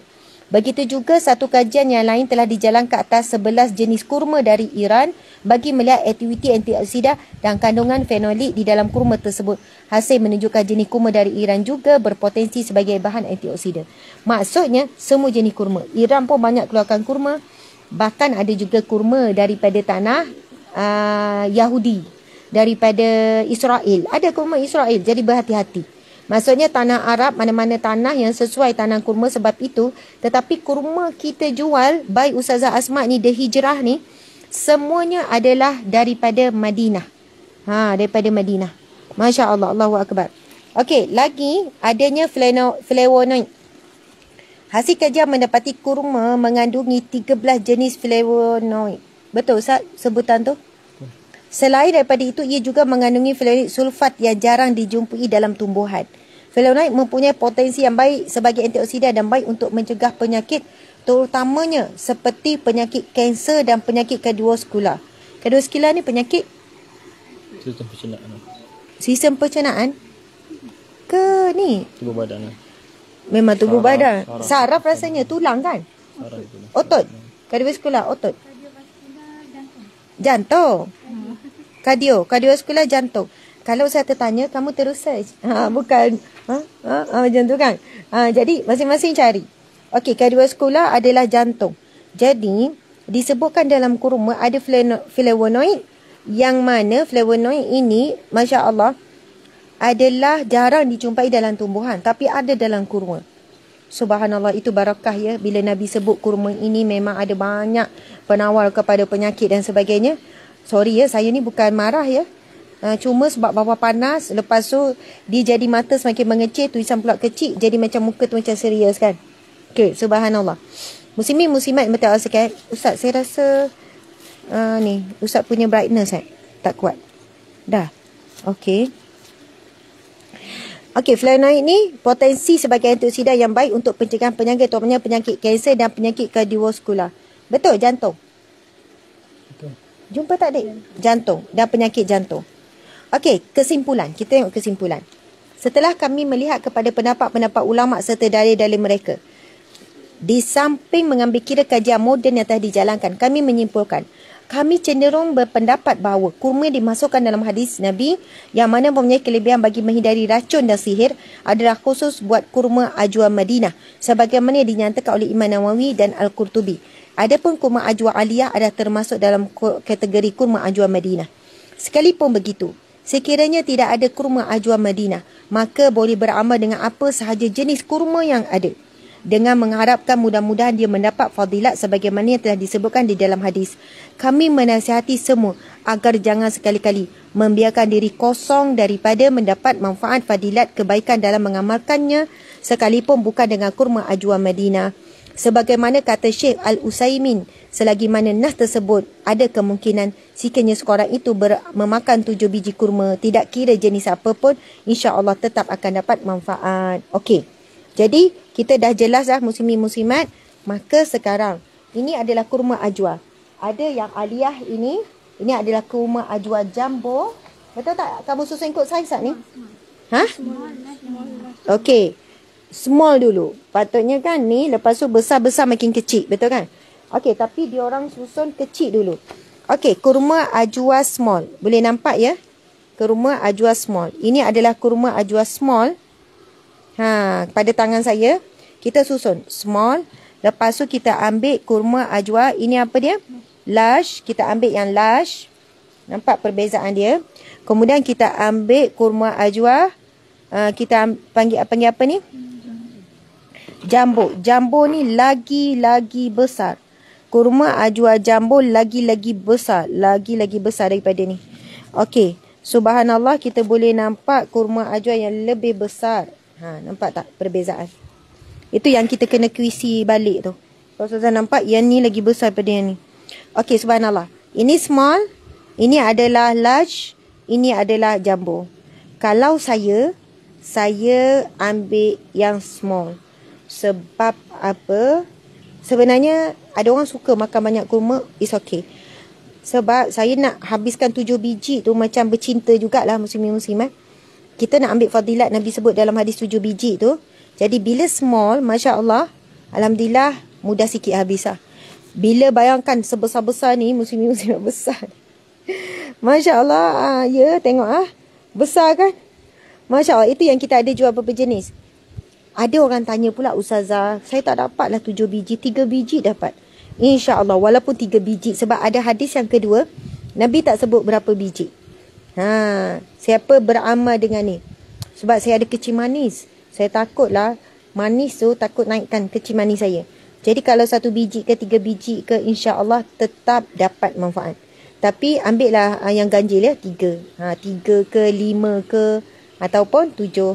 Jadi kita boleh nampak. Ha, gila-gila. Kenapa dik? Ha, ha, Syira lama-lama dia jadi ni. Ha. Ha. Dia macam tu ya. Cameraman ni dah bertukar orang. Tapi Ustazah tak boleh ditukar. Ustazah kena bertahan sampai habis. Okey. Tuan-puan dimati Allah sekalian. Kalau boleh bagi.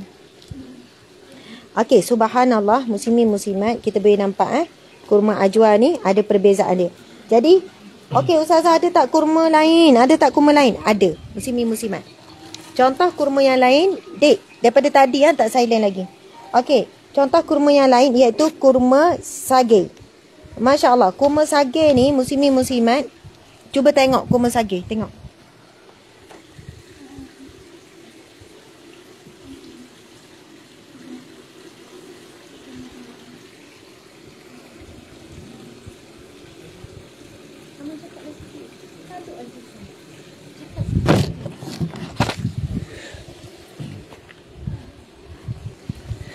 Alhamdulillah. Uh, kita telah uh, mendengar banyak kisah-kisah berkaitan ataupun kelebihan-kelebihan yang kurma yang uh, dikeluarkan eksklusif daripada Ustazah Asma Harun uh, daripada galeri Ustazah Asma Harun dan alhamdulillah banyak kelebihan yang kita tak ketahui sebenarnya kedatangan bulan Ramadan yang kita akan raikan beberapa hari lagi.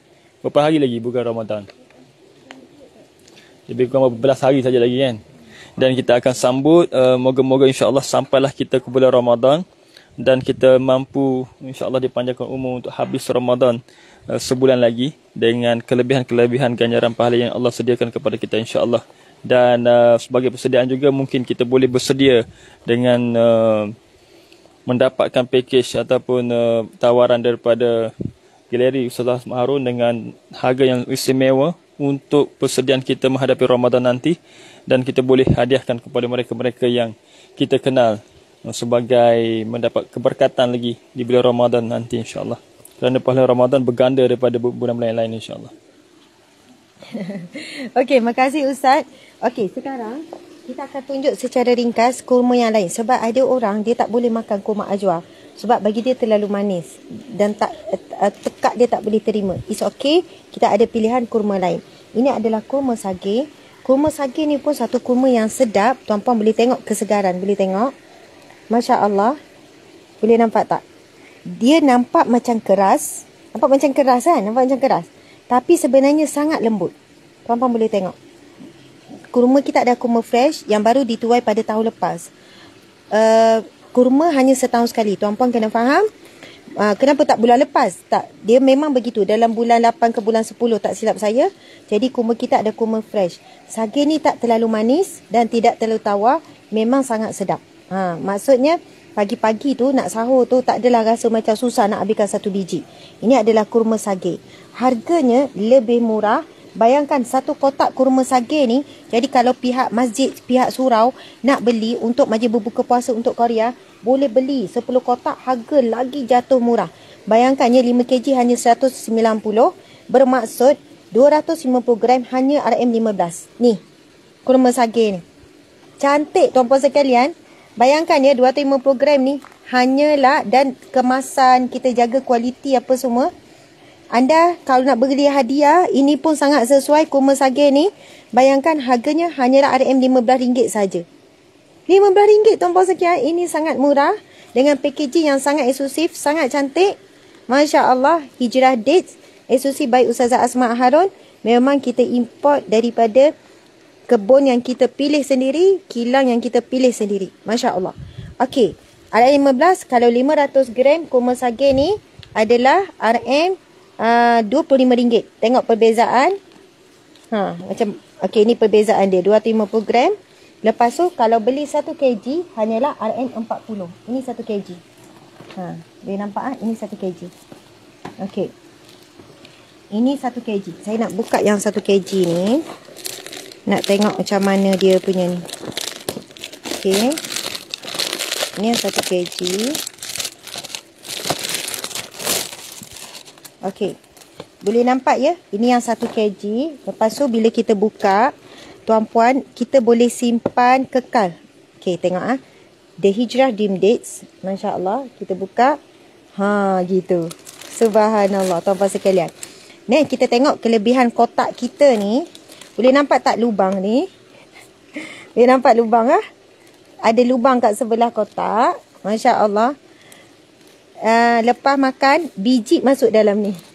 Itu kelebihan lubang yang dibuat. Memang kita tengok ah kapasiti lubang ni. Boleh letak banyak mana. Tengok keluasan. Luas tak? Ha, itu dia. L- tepi kotak terus ada lubang, makan-makan letak biji dalam ni. Ha, yang ni kita kita tak jual ni, saya buka dah packaging ni. Ha. Nampak tak? Ha, kelebihan dia. Masya-Allah, Allahu akbar. Satu maksudnya ni lepas tu masukkan dalam kotak uh, makan masukkan biji dalam ni. Contohlah ya, ni bukan contoh saya makan. Tengok ah kesegarannya, lembut tuan-puan sekalian, tak manis tak ni. Lepas tu ma- masuk dalam tu. Ha gitu. So kadang-kadang kan tak jumpa tempat nak letak manalah biji ni. Ada yang sini. Ha? Letak balik sini geli. Ha ah. Ya, yang ni letak balik sini orang geli nampak kan. Jadi dah ada terus tak ni. Lepas tu tutup balik boleh simpan balik dalam peti ais. Ha, kelebihan yang 1 kg. Tapi kalau yang kecil tak adalah tuan-puan sekalian sebab yang kecil eh ada juga. Oh, hebatnya. Baru tahu. Hebat rupanya. Contoh contoh contoh. Mana yang kecil? Yang dah buka. Ah, tak tak saya nak buka tahu. Tahu tak ada kurma apa? Ramai orang tanya rutop. Ustazah, rutop ada tak? Sebab rutop yang lembek-lembek tu biasakan dalam kotak yang lembek. Tapi kita buat kotak yang sangat cantik. Tengok rutop ah. Ha? Rutop, rutop. Ramai orang cari rutop. Ini rutop yang uh, harga harga rutop ni berapa dik?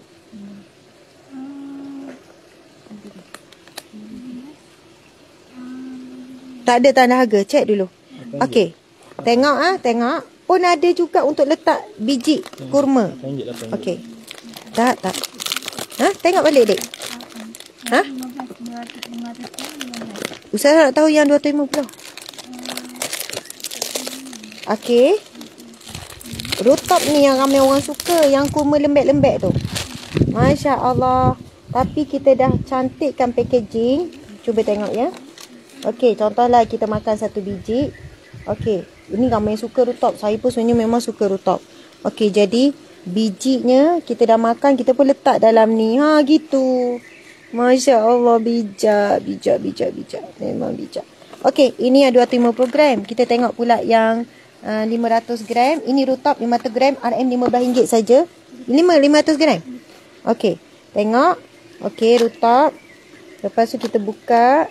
Tengok tu segar. Yang kan rutop ni kan yang yang juicy tu, yang lembut-lembut. Ha, lepas tu biji dia ada guys, ada guys. Ha, macam tu. Okey. Masya Allah, Masya Allah, Masya Allah.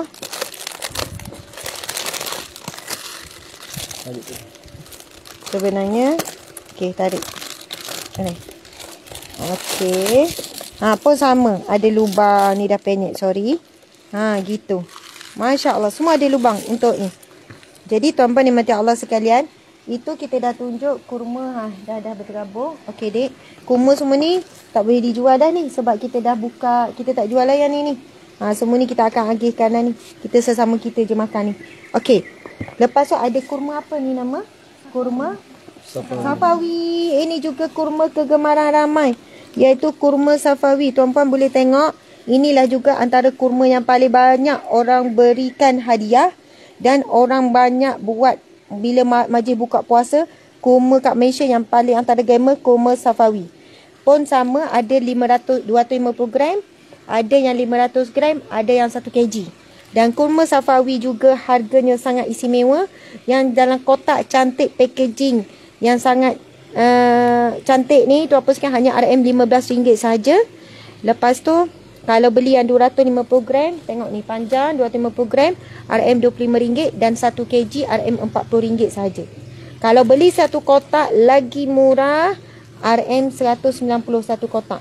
Tuan-puan dimati Allah sekalian, semua jenis kurma harga akan berbeza bila anda beli jumlah yang lebih banyak, lebih banyak, lebih banyak penjimatan yang sangat luar biasa kepada siapa yang nak menjadi rakan niaga kami kan untuk sama-sama menjual The Hijrah Dream Dates by SOC by Ustazah Asma. Masya Allah, anda boleh mula menghubungi nombor telefon yang kita dah kongsikan daripada awal boleh tengok ya daripada awal kita dah tulis dah kat ruangan komen ataupun anda nak beli borong tetapi untuk diberikan hadiah pun harga berbeza. Kan? Subhanallah kami boleh uruskan semua. Anda hubungi saja nombor telefon yang kita kongsikan tadi. Ustazah saya ada, ada beradik 20 orang. Ada beradik 15 orang. Itu saya jumpa 15 orang ada 13 orang. hubungi kami. Saya nak bagi hadiah kepada setiap adik-beradik. Anda hanya beri maklumat saja kami akan postkan. Dan mungkin ada yang special request saya nak bagi hadiah kurma tu untuk mak. Boleh tak tolong tuliskan kad? InsyaAllah kami akan bantu tulis. Tapi nak sign saya tak boleh. Buat ibu ayah yang tercinta. Kan selamat menyambut Ramadan Al-Mubarak. Kita tulis, kita sediakanlah kad. Biasa, simple saja. Daripada tuliskan nama anak, kita post satu kotak. Jadi anda akan terima. Lepas tu di bulan Ramadan kami juga menerima tempahan di uh, orang nak buat dalam bentuk hamper. Hamper sebab ada banyak majlis di bulan Ramadan ni. Kan? Macam-macam majlis dibuat. Jadi nak hamper dalam itu menggabungkan kurma. Lepas tu gabungkan juga um, apa ni kuih raya. Kami menerima tempahan hamper dan kita akan hantar. Okey, tuan-puan dimati Allah sekalian. Antara kurma yang sedap juga saya kena tunjuk iaitu kurma namanya kurma Makjul. makjul. Ha? Saya jambu. Tengok ni makjul. Nampak macam manis tapi sungguh saya juga jatuh cinta dengan kurma makjul ni. Nampak tak kurmanya? Tuan puan sekalian, saya buka ni bukan dengan susah payah, lembut juicy. Ini menunjukkan kualiti dan kesegaran kurma kita. Dan jika anda saya ini jaminan kita. Sekiranya anda menerima kurma yang tidak mengikut spek. Sampai kepada anda keras ataupun ada ulat. Kan ulat-ulat kurma ni pun ada. Anda boleh hubungi kami tunjukkan saja video ataupun bukti kami akan ganti. Kita akan ganti semula. Itu komitmen kami yang kami dah buat tahun lepas. Siapa yang hubungi balik eh kenapa kurma ni tak macam yang dibayangkan? Tak seperti mana yang ditunjuk dalam live tu kan gini-gini kita akan pulangkan kita akan ganti rugi. Faham ya? Itu komitmen kami.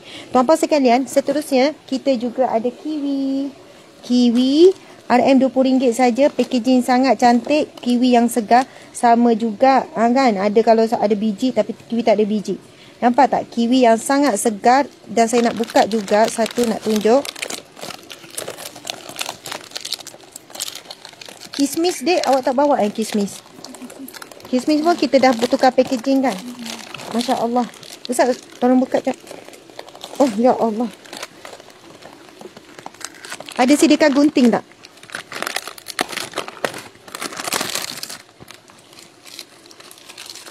Okey, kadang-kadang kena sediakan pisau, gunting untuk memudahkan. Okey, tengok kiwi ya. Dalam kotak. Jadi kalau kita nak simpan semula pun. Kan nak simpan semula pun kita boleh simpan semula dalam bekas yang sama. Okey. Kita boleh je simpan.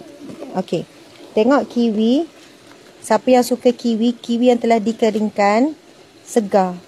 Subhanallah. Dia bukan macam jeruk tak. Ha, okey, kita boleh nampak dan kita boleh simpan dalam bekas yang sama. Selain pada kiwi, kita ada juga um, apa ni? Kita ada juga uh, apricot.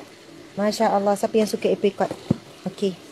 Nampak ya? Apricot pun segar, lembut. Ada kawan tu, kawan saya lah, dia beli apricot. Dia kata ni antara apricot yang paling segar dan anak dia boleh makan habis terus satu satu bekas. Minta lagi, minta lagi. Sebab kadang-kadang ada orang beli-beli-beli apricot rasa lama, kering. Tapi siapa yang pernah beli apricot dengan kami tahu, ia adalah apricot yang sangat segar dan berkualiti.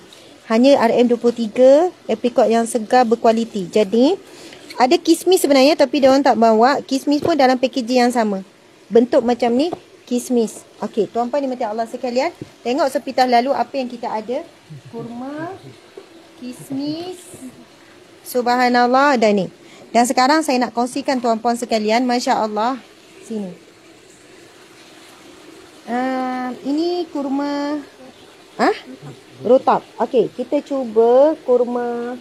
Kita cuba kurma ni. Kurma. Boleh je. Campur-campur kurma pun boleh. Contoh, tak apa, tak apa. Saya nak cuba kurma ni. Ini sedap ni. Kurma ni. Ini pun sedap. Apa-apa kurma pun boleh sebenarnya. Okey, kita cuba dalam 6 biji. Masya Allah. Kita ambil contohnya 1, 2, 3, 4, 5, 6. Uh, contohlah kita ambil 3 biji kan. Tak apa, berapa biji pun. Nak pinggan satu dek? Okey. Uh, kamu sini. Sini. Ah gitu. Okey. Okey. Nah, tuan-puan ni macam Allah sekalian, mari kita tengok ini um, ini adalah antara amalan kami satu keluarga bila terutamanya bila berpuasa. Bukan Ramadan saja. Puasa sunat ke ni. Dan saya sendiri memang buat amalan ni uh, mendapati uh, lebih cergas, lebih bertenaga, uh, tak rasa lapar. Bukan kita tak nak lapar tu maksudnya um, kuranglah rasa lapar, rasa penat dan sebagainya. Subhanallah. Sebenarnya kan di uh, Ustazah dah pesan selalu. Sekejap, sekejap.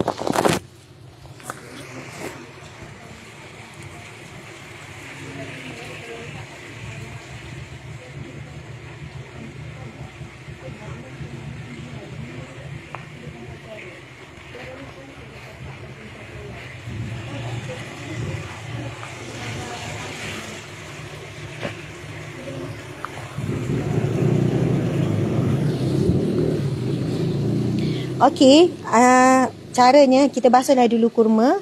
Lepas tu terus masuk. Okey.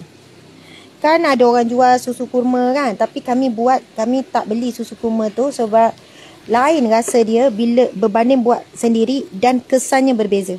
Kesan berbeza. Tak susah pun puan sekian dan kami dulu kami yang buat.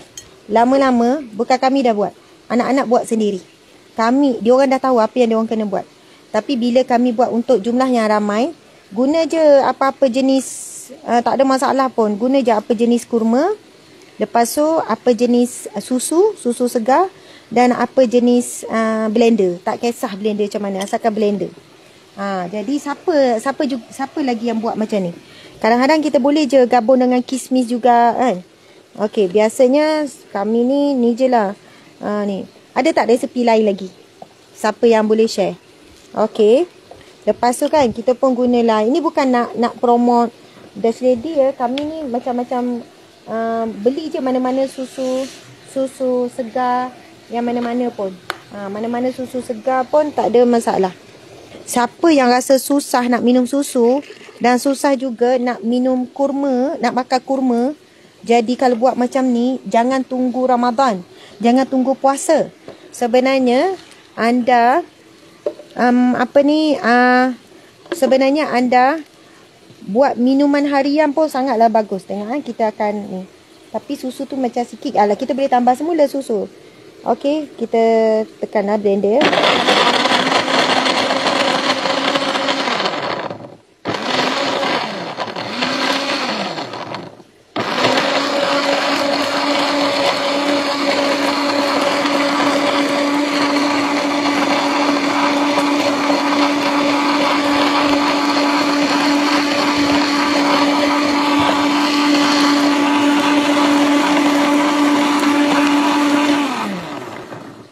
Kadang-kadang anak kami tersilap blend ngantuk-ngantuk bangun subuh nak sahur tu kan dengan dengan biji. Tapi kita boleh dengar kelentang kelentang kelentang. Kita tahulah tu memang dia orang uh, dengan biji. Bila dengar tu memang terus terus apa ni? Terus berhentilah. Ha masya-Allah. Okey. Kita boleh tengok air susu dah bertukar menjadi macam warna coklat.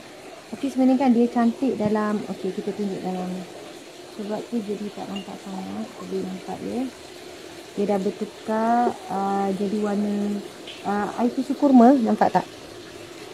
Dan kalau Ustazah bagi kamu rasa ni dia memang ada lagi bawah-bawah tu sikit.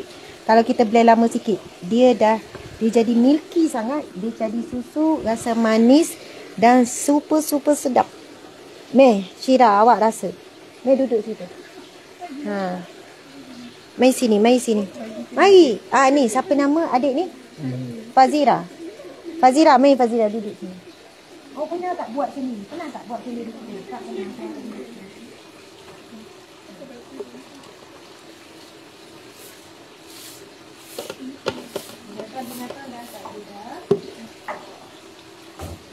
Sini, sini, Dik. Tak apa, awak daripada situ awak zoom je. Ha. Okey, duduk. Cuba rasa.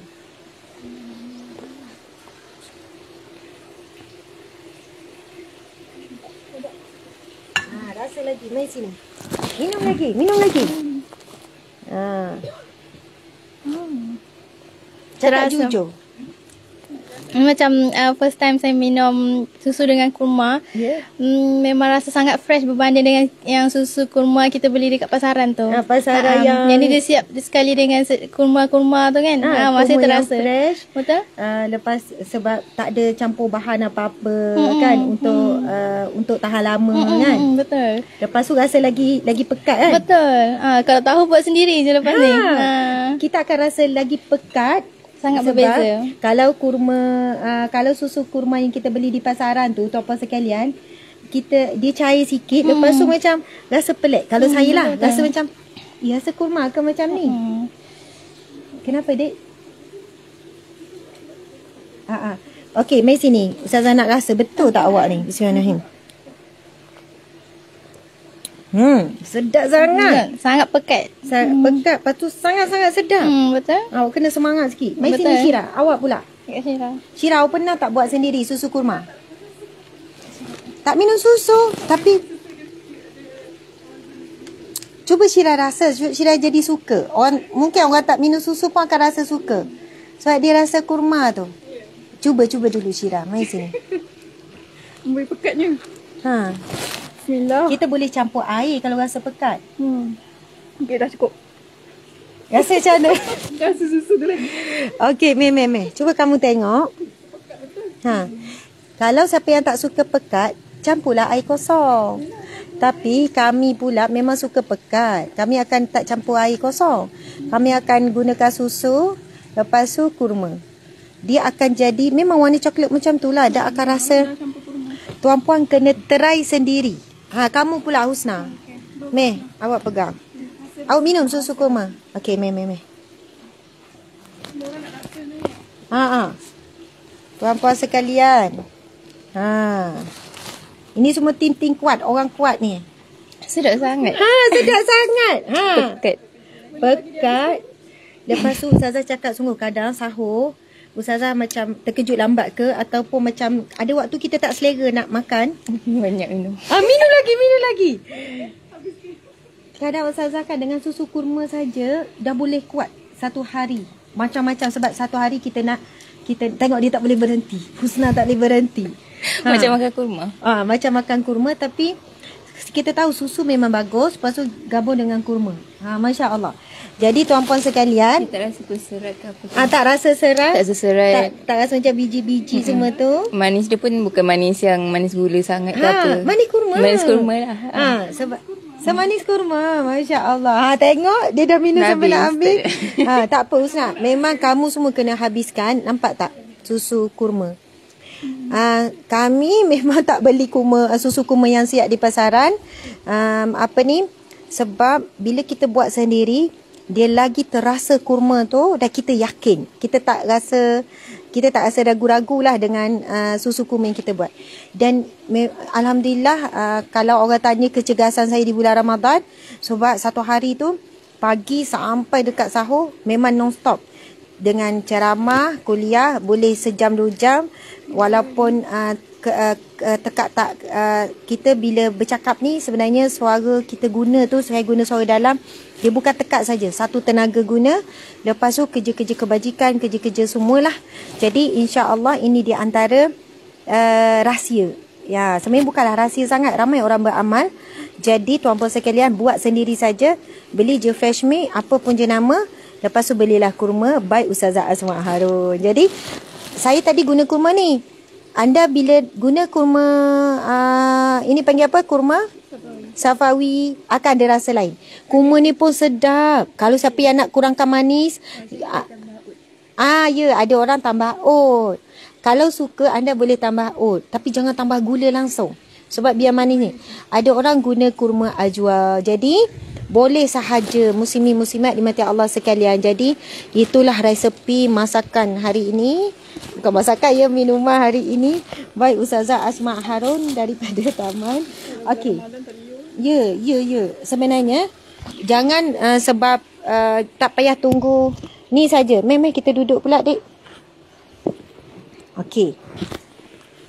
Meh, encik suami sayang duduk sebelah. Aduh, tersebut sayang lah pula. Kan tersebut sayang. Tak apa ah encik. Tersebut. Hmm, depan-depan orang. Okey. Masya Allah.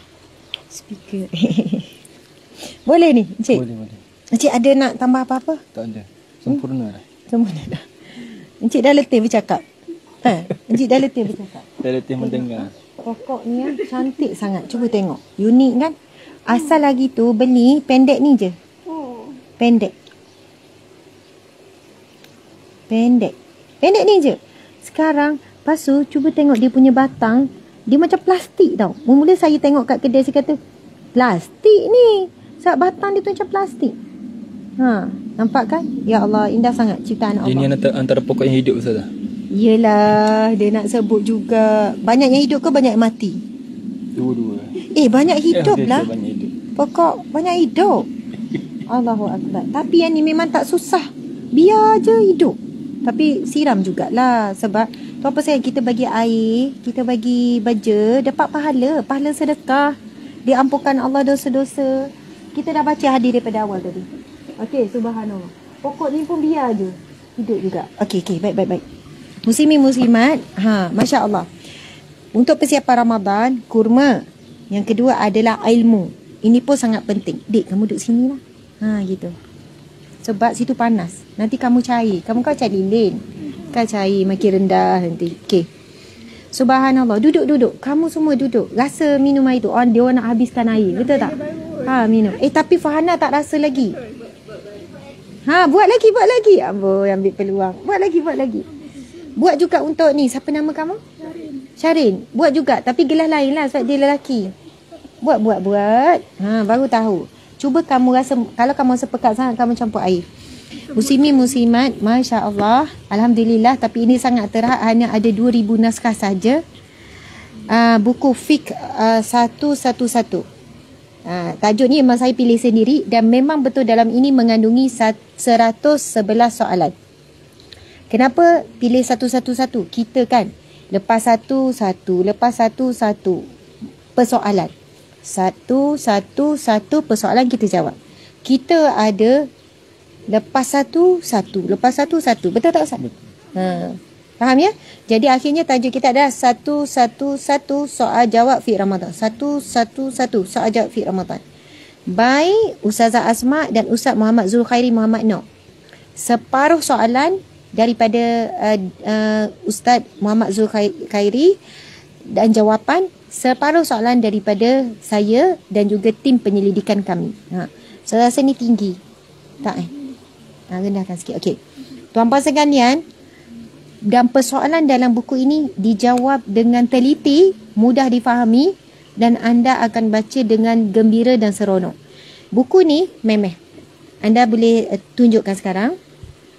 Cantik kan? Dia punya design sangat cantik. Dia design oleh tim kami sendiri. Ustaz Amirul. Masya Allah. Tengok. Uh, publication by Hijrah Publication uh, Sinar Berhad. Ini adalah syarikat publication kami sendiri. Alhamdulillah kita dah buka satu lagi syarikat uh, publication.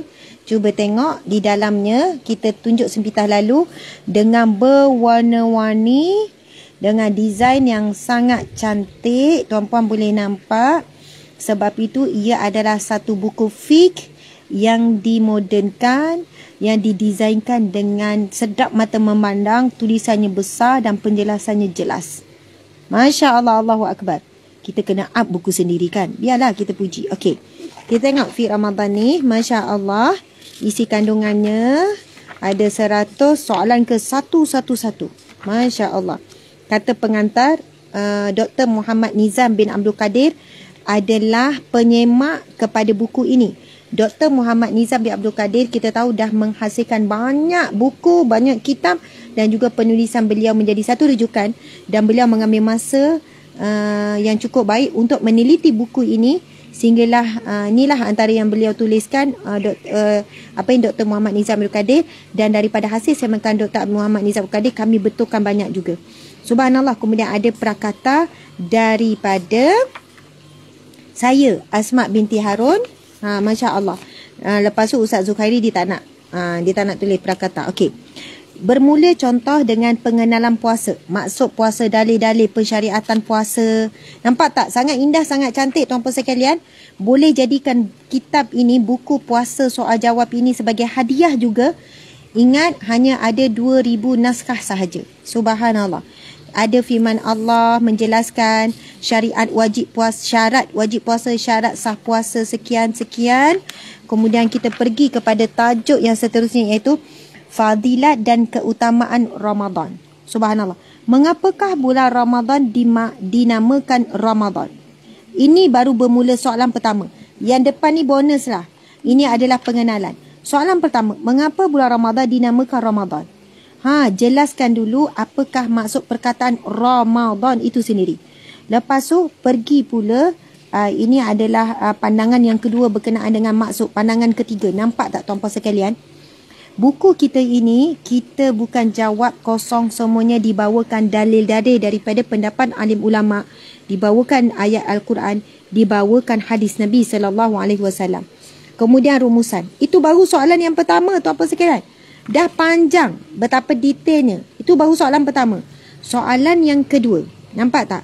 Anak-anak pun akan suka baca buku ni sebab ia menarik. Soalan yang kedua, Masya Allah, apakah maksud hadis puasa untukku dan aku yang akan membalasnya? Bukankah semua amalan memang untuk Allah subhanahu wa ta'ala dan bukankah semua amalan akan mendapat pembalasan daripadanya? Kenapa hadis Nabi mengkhususkan uh, Nabi sebut dalam satu hadis uh, hadis apa ni panggil hadis kursi Allah Allah berfirman puasa untukku dan aku akan membalasnya. Ha, subhanallah dijelaskan jawapan yang pertama kemudian kan pandangan pertama, pandangan yang kedua, pandangan ketiga. Masya-Allah. Kita tengok macam mana pasu rumusan kesimpulan kepada setiap perbincangan. Soalan ketiga, adakah kita wajib menentukan atau menyatakan dengan khusus bahawa kita sedang berpuasa Ramadan? Ini masuk bab persoalan niat dah. Tuan-puan sekalian tengok lagi macam-macam persoalan kita jawab. Bahkan soalan-soalan yang pelik. Contoh ya, saya nak pergi kepada contoh bab uh, puasa dan wanita. Kita tengok ya, puasa dan wanita. Masya Allah. Kita tengok. Kita bahagikan bab. Tuan-puan sekalian, ah, tunjuk Ustazah pula. Ketika menghasilkan kitab ini, buku yang nak jadikan rujukan ni, Musimin Musimat, kami beri fokus sekurang-kurangnya. Tak fokus so berapa lama, tapi fokus dalam tempoh sebulan all out. Sehingga kan dalam tempoh satu minggu, kami keluar kawasan. Keluar daripada pejabat, pergi ke satu uh, tempat yang mana di situ penulis penyelidik, pegawai penyelidik termasuklah saya sendiri berkampung di situ tak balik rumah buat apa untuk fokus menyiapkan. Antara proses yang diberikan pendetilan adalah pemilihan kepada soalan dan pemilihan kepada pembahagian bab. Kita khususkan bab niat khas bab niat. Bab perkara yang membatalkan khas. Perkara sunat khas. Kan? Bab-bab berkenaan soal jawab uh, puasa dan wanita khas. Ha, uh, berkenaan uh, apa ni uh, kita boleh tengok nanti. Cuba tengok pada bab ya. Mari kita tengok pada bab. Dek dek dek. Adik-adik. Ha bunyi bunyi. Ha. Okey, cuba kita tengok bab ni. Bab satu Ramadan fadilat dan keutamaan. Semua ni bab fadilat dan keutamaan. Kita tengok bab dua berkenaan dengan niat. Masya-Allah. Segala persoalan yang kita tertanya bab niat tidak berniat semasa sahur. Ha, ini selalu orang tanya ni, macam mana ni kalau niat terlepas ha, meng, me, menggabung niat puasa sunat dan qada. Terlupa berniat waktu untuk berniat niat se, sebulan macam mana nak niat sebulan. Okey, bab tiga sahur dan berbuka puasa. Macam mana macam-macam persoalan kan meneruskan sahur kerana yakin belum azan subuh kan tersalah waktu berbuka waktu terakhir kita makan dan minum ketika bersahur. Ini semua. Okey, bab yang empat, perkara yang membatalkan atau tidak membatalkan puasa. Semua ni persoalan. Ada yang ingat itu batal, sebenarnya tak batal. Ha, jadi perkara yang batal tak batal, bab yang ke empat. Bab lima, perkara sunat dan makroh dalam berpuasa. Ini semua ni. Sunat, makroh. Okey, bab enam, hukum hakam suami isteri. Ini banyak ni. Tengok sengaja membatalkan puasa untuk berjima. Tidak sempat mandi junub sebelum waktu subuh. Mencium pasangan ketika berpuasa. Ha. Lagi melakukan hubungan intim semasa puasa wajib selain Ramadan. Ha. semasa puasa wajib selain Ramadan. Masa bulan Ramadan memang kena kafarah. Tapi kalau bulan yang lain, ha, puasa qada ha, ataupun puasa nazar, melakukan hubungan uh, namun tidak inzal. Buat hubungan suami isteri tapi tidak uh, keluar air mani. Berjima lebih daripada sekali di siang hari. Melakukan hubungan intim semasa bermusafir. Ha, ini antara yang dibuat muslimin-muslimat. Bulan Ramadan, sebab dia nak berjimat suami isteri, dia pergi musafir. Sebab kata musafir kan boleh tak puasa. Betul. Jadi dia sebenarnya musafir bukan ada tujuan. Bukan sebab yelah nak hantar anak misi ke, ada tujuan kerja ke. Tapi tujuan musafir itu adalah kerana mereka suami isteri macam Bang, jom bang. Ha, jatuhlah kan. Mungkin tak boleh nak menawan, menahan hawa nafsu. Mereka kata, eh, kita bolehlah musafir. Nanti musafir, kita boleh buka puasa. Jadi boleh berjimat. Adakah dengan dah batal puasa, itu di dalam ini ada jawapan adakah apabila kita dah terbatal batal puasa bukan disebabkan jima adakah boleh melakukan jima pada siang hari Ramadan? Ha faham maksud saya ya?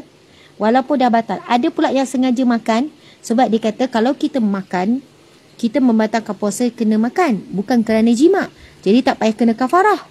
Ha tapi berdosa besar amat besar amat berat ya membatalkan puasa bulan Ramadan. Jadi persoalan itu terjawab dalam buku ni. Ha, tapi saya akan jawab juga nanti ya.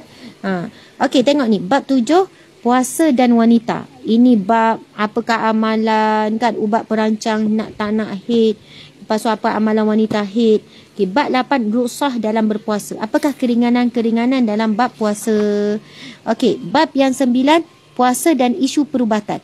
Puasa orang yang hilang akal menggunakan alat seduh inhaler, rawatan cuci gigi scaling, suntikan vaksin, tertelang kahak, memakai kantar pelekap, berbekam ketika puasa, rawatan dialisis, menggosok gigi, menggunakan ubat titis.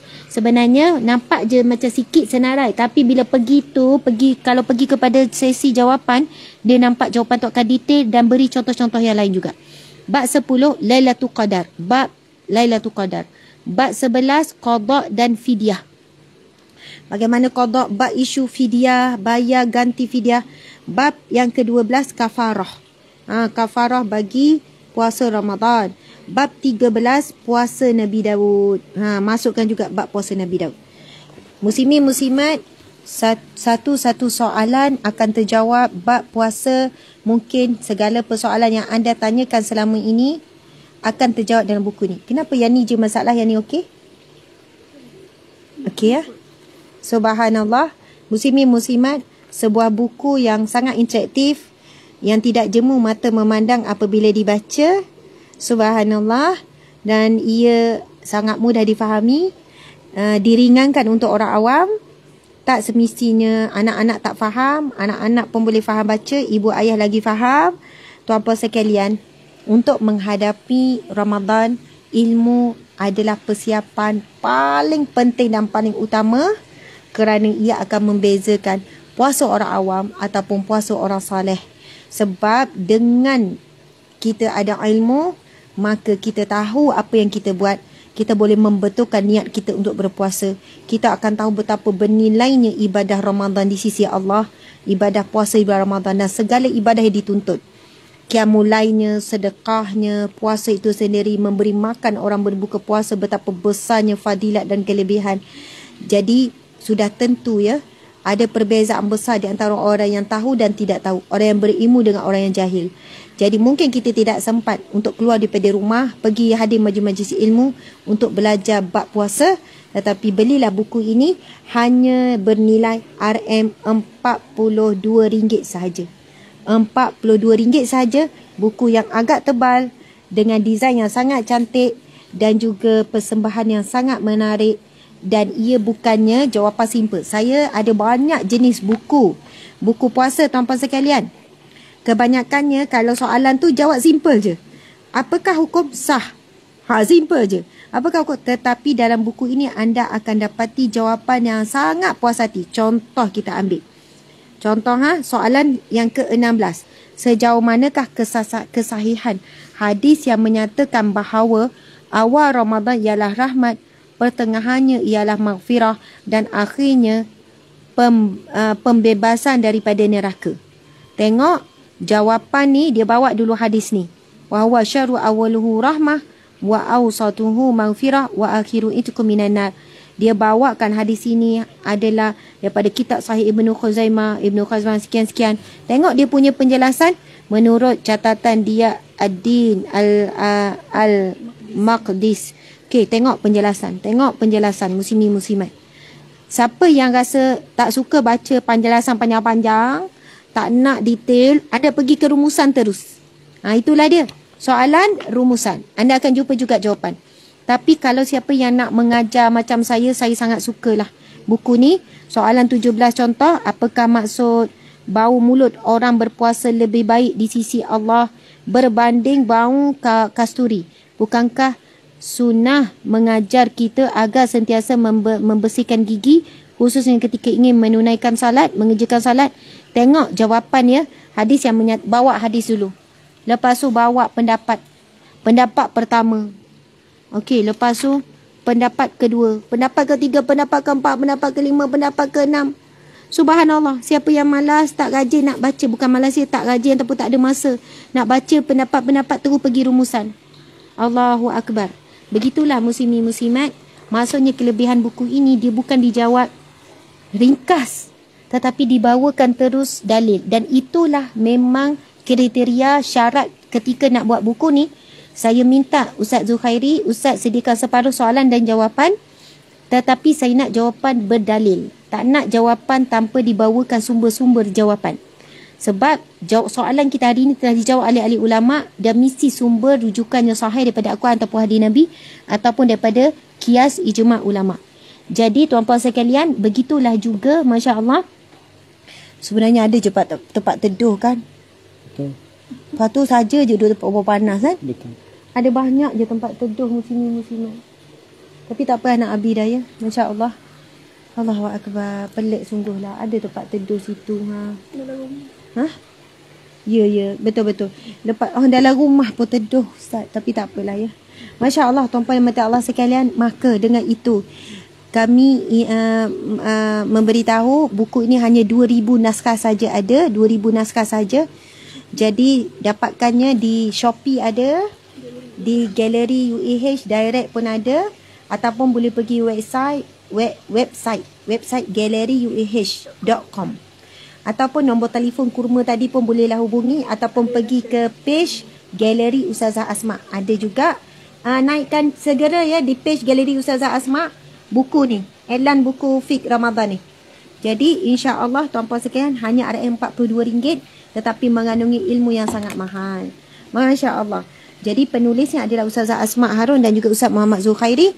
Dia tulis dengan teliti, insya-Allah merujuk kepada pendapat yang uh, merujuk kepada mazhab uh, mazhab Syafi'i yang paling utamalah kita jadikan pendapat mazhab Syafi'i paling utama. Namun kita bawa juga ada perbahasan daripada pendapat mazhab-mazhab yang lain. Uh, tetap dalam ruang lingkup ahli sunnah wal jamaah. Semuanya adalah dalam ruang lingkup ilmu ahli sunnah wal jamaah. Saya teduh sikit eh berbanding. Oh, Ustaz lagi panas. Tak lebih panas. Ah, Masya Allah. Patutlah saya rasa macam okey. Ha, saya, saya, okey. Terima kasih, Encik uh, suami. Masya Allah, okey. Alhamdulillah, muslimi muslimat. Kamu kena mengundur balik. Mengundur. Okey, Alhamdulillah. Jadi, oh, Kak Main beria ya. Ha, sedap kan minum kan? Ha, kalau pagi-pagi kita tak sempat meet makan, sibuk kerja. Buat tak untuk Syahrin? Kesian Syahrin. Kamu tak buat untuk dia. Buat-buat tahu. Oh, sebab kamu takut bising kan? Ha? Okey. Jadi Alhamdulillah tuan-puan sekalian. Berapa lama kita live pagi ni? Dua jam. Dua jam eh. Daripada kucing, arnab, hamster. Masya Allah, lama. Daripada kita berkongsi tentang kelebihan dan hadis Nabi berkenaan dengan uh, berbuat baik kepada binatang dan berbuat baik pada binatang yang mana bila buat baik pada binatang ni kita dapat pahala sedekah kita diampunkan Allah dosa juga kepada tumbuhan. masya-Allah Allahu akbar. Kemudian kita pergi pula kepada iklan kurma.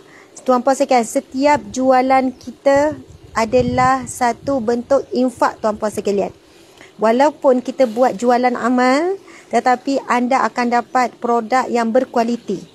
Kurma ke, pakaian yang kita jual daripada galeri Ustazah Asma, semua produk, buku-buku yang dihasilkan daripada publication kita sendiri adalah yang berkualiti tuan-puan sekalian. Masya Allah. Ustazah rasakan kita kena jual susu sendiri jugalah. Masya Allah. Muslimin, muslimat dimati Allah sekalian. Insya Allah, uh, apa maksud setiap pe, uh, pem, pe, uh, pembelian adalah pemberian ataupun infak kerana subhanallah kita muslimin muslimat menggunakan hasil daripada jualan kita ni untuk kerja dakwah dan kerja amal yang digerakkan di bawah NGO Sahabat Amal Care dan juga Yayasan Al-Hijrah. Jadi sebenarnya anda membeli satu produk yang berkualiti dengan harga yang sangat berpatutan dengan harga yang mampu milik anda dapat dua dapat dapat produk berkualiti anda juga dapat pahala memberikan infak secara tidak langsung menyokong kepada semua projek yang digerakkan di bawah NGO Sahabat Amal Care dan juga Yayasan Al-Hijrah. Jadi sekejap lagi habis je live ini, kami akan terus bergerak ke lokasi dan kita akan buat live yang kedua kalau Gajin boleh ikut di tapak lokasi uh, apa ni perkampungan Al-Hijrah yang mana hari ini ada mesyuarat penting dibuat di tapak lokasi. Kemudian kita akan berkongsilah perkembangan dengan kan kalau kita larat dan mampu sesuai. Kalau sesuai, larat tu insyaAllah larat. Kita akan buat live di sana. Jadi uh, uh, sekianlah daripada saya. Mohon maaf salah dan silap. Terima kasih banyak-banyak yang stay daripada awal. Mungkin dah siap masak, dah siap baring, dah siap masuk kereta. Tapi sebab nak support dia on juga live tu. Saya tak tahu berapa jumlah daripada tadi. Uh, sebab dah masuk keluar. Ha? Oh, seribu lagi. Masya Allah, keluar masuk dan sebagainya. Terima kasih banyak-banyak. Mohon maaf kekurangan. Nampak saya macam marah sikit tadi tu tak ada. Sebenarnya muka ni sebab ngadap matahari. Lepas tu, um, apa ni, biasalah dah penat. Dah lelah. Ha, macam tu, lelah. Bukan penat, lelah. Sebab cakap non-stop. Terima kasih semua. Mohon maaf salah dan silap. InsyaAllah jadilah sebahagian pada kami rakan niaga. Siapa nak jual kurma, nak jadi ejen pun boleh. InsyaAllah dapat harga yang special. Terima kasih. Assalamualaikum warahmatullahi wabarakatuh. Terima kasih semua kepada Syira. Farhana, Husna, kepada Fazira dan juga Ustaz Syarin. Okey, terima kasih kepada encik suami dan anak-anak yang bagi kerjasama dan terima kasih kepada kucing, kepada anak, hamster. Alhamdulillah. Assalamualaikum warahmatullahi wabarakatuh. Masya Allah. Okey. Ada ada satu pokok yang saja sangat unik tapi tak duduk sebelah sana warna purple tu. Tapi kan kamu dia tu dah kait. Ha kan, pelik kan? Akan tapi masih jalan.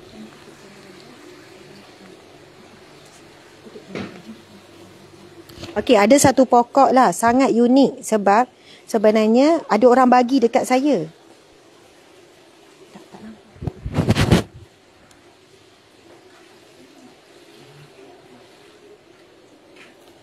Cuba tengok pokok ni purple.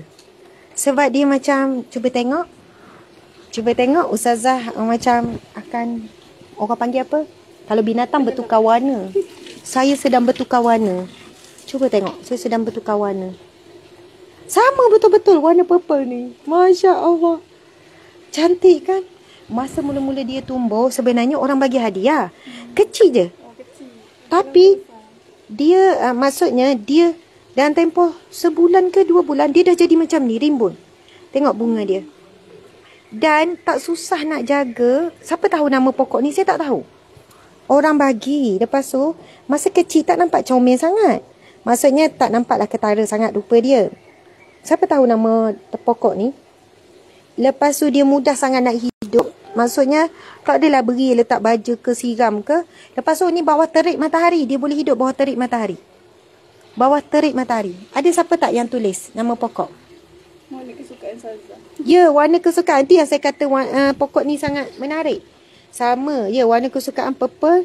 Dan betul-betul saya sedang, mungkin kalau saya duduk dalam ni orang tak perasan. Ha, macam tu kan. Pakai, kalau pakai tudung ni lah. Okey. Ada ada tak, ada siapa tahu tak nama pokok ni? Tak ada eh, nama tumbuhan ni. Betul tak? Warna dia tu kan purple yang sungguh-sungguh purple. Tak ada. Lambat sikit. Hmm. Masya Allah. Dia ada je. Dia ada. Oh dia pun ada juga. Oh, saya ingatkan Banyak kat rumah. banyak kat rumah. Oh, saya ingatkan pokok rare. Rupanya ramai yang ada. Hmm. Ramai yang ada. Saya yang Ah, kamu kamu Kamu saya tak ada. ha? Kamu flip. Apa dia? C-A-M-O-U-F-L-A-G. Kamu krip macam tu. Kamu. Camouflage. Oh, Masya Allah. Okey, jujur. Kamu pernah tengok? Kamu pernah? Ha, betul lah kamu flip. Sini pun kamu. Camouflage. Kamu, maksudnya, ini bu, uh, Kamu flip. kamu sini biasa tengok? Tak, tak biasa. Ya, tak biasa. Okey, maksudnya bukan saya seorang lah. Macam macam jakun ya, macam pelik. Ah, Syira pun tak pernah tengok. Saya memula bawa, saya kata, ih cantiknya. Lepas tu, saya pun bila dah rimbun tu macam, Masya Allah, Allah Akbar. Jadi, tuan-puan sekalian, uh, kalau kita tengok warna-warna, warna ada macam-macam kan. Tetapi warna ciptaan Allah perfect. Ini kan memang ciptaan Allah ni. Bukan yang kita color. Masya Allah. Ma- apa yang Allah ciptakan, semua warna sampai, sebenarnya warna mungkin ada beratus warna. Faham tak? Kalau ikut betul-betul ciptaan Allah. Faham maksud Ustazah? Warna ni, eh, awak, awak tak payah gerak, awak tak payah gerak. Contoh kan pokok ni. Bayangkan ya. Ha. Kita nak sebut ini warna apa? Ini warna apa? Ini ialah purple. Ini kita nampak hijau. Tapi ada juga purple campur hijau. Faham tak? Ha, jadi, bila kita tengok warna pada pokok, kita akan rasa macam hebatnya ciptaan Allah. Kita rasa macam Jenis daun tu. jenis-jenis, macam jenis-jenis daun. Okey. Kalau kita buat color kan, okey. Um, saya tarik. Contoh, pokok ni pun ramai orang ada. Sorry ya, saya tarik. Ini kan warna merun. ah. Okey, kita kata ini merun. Ya, ini merun. Ini warna apa? Merah. Merun juga kan? Maksudnya bagi warna merah sendiri untuk pokok tumbuhan ciptaan ah ini macam purple sikit kan. Untuk uh, ustazah nak sampaikan macam ni.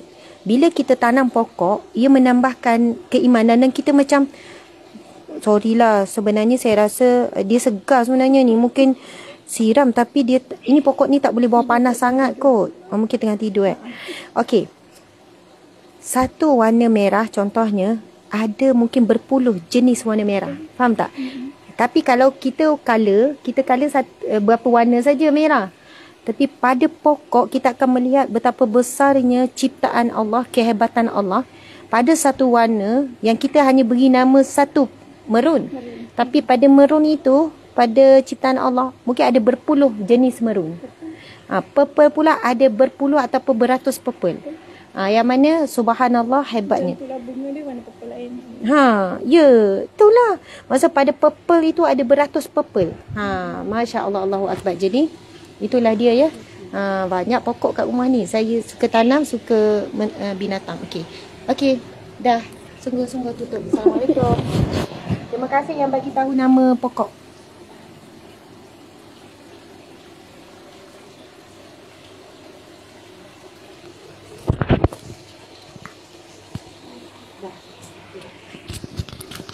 Tengok atas. Tapi pokok ni memang tahan lasak sungguh. Oh, so ni lepas Bekas apa Ustazah? Very nice. mana? Apa atas tu? Dia tak Kalau warna pokok yang Kalau kita sikit. Oh, gitu. Oh, ya?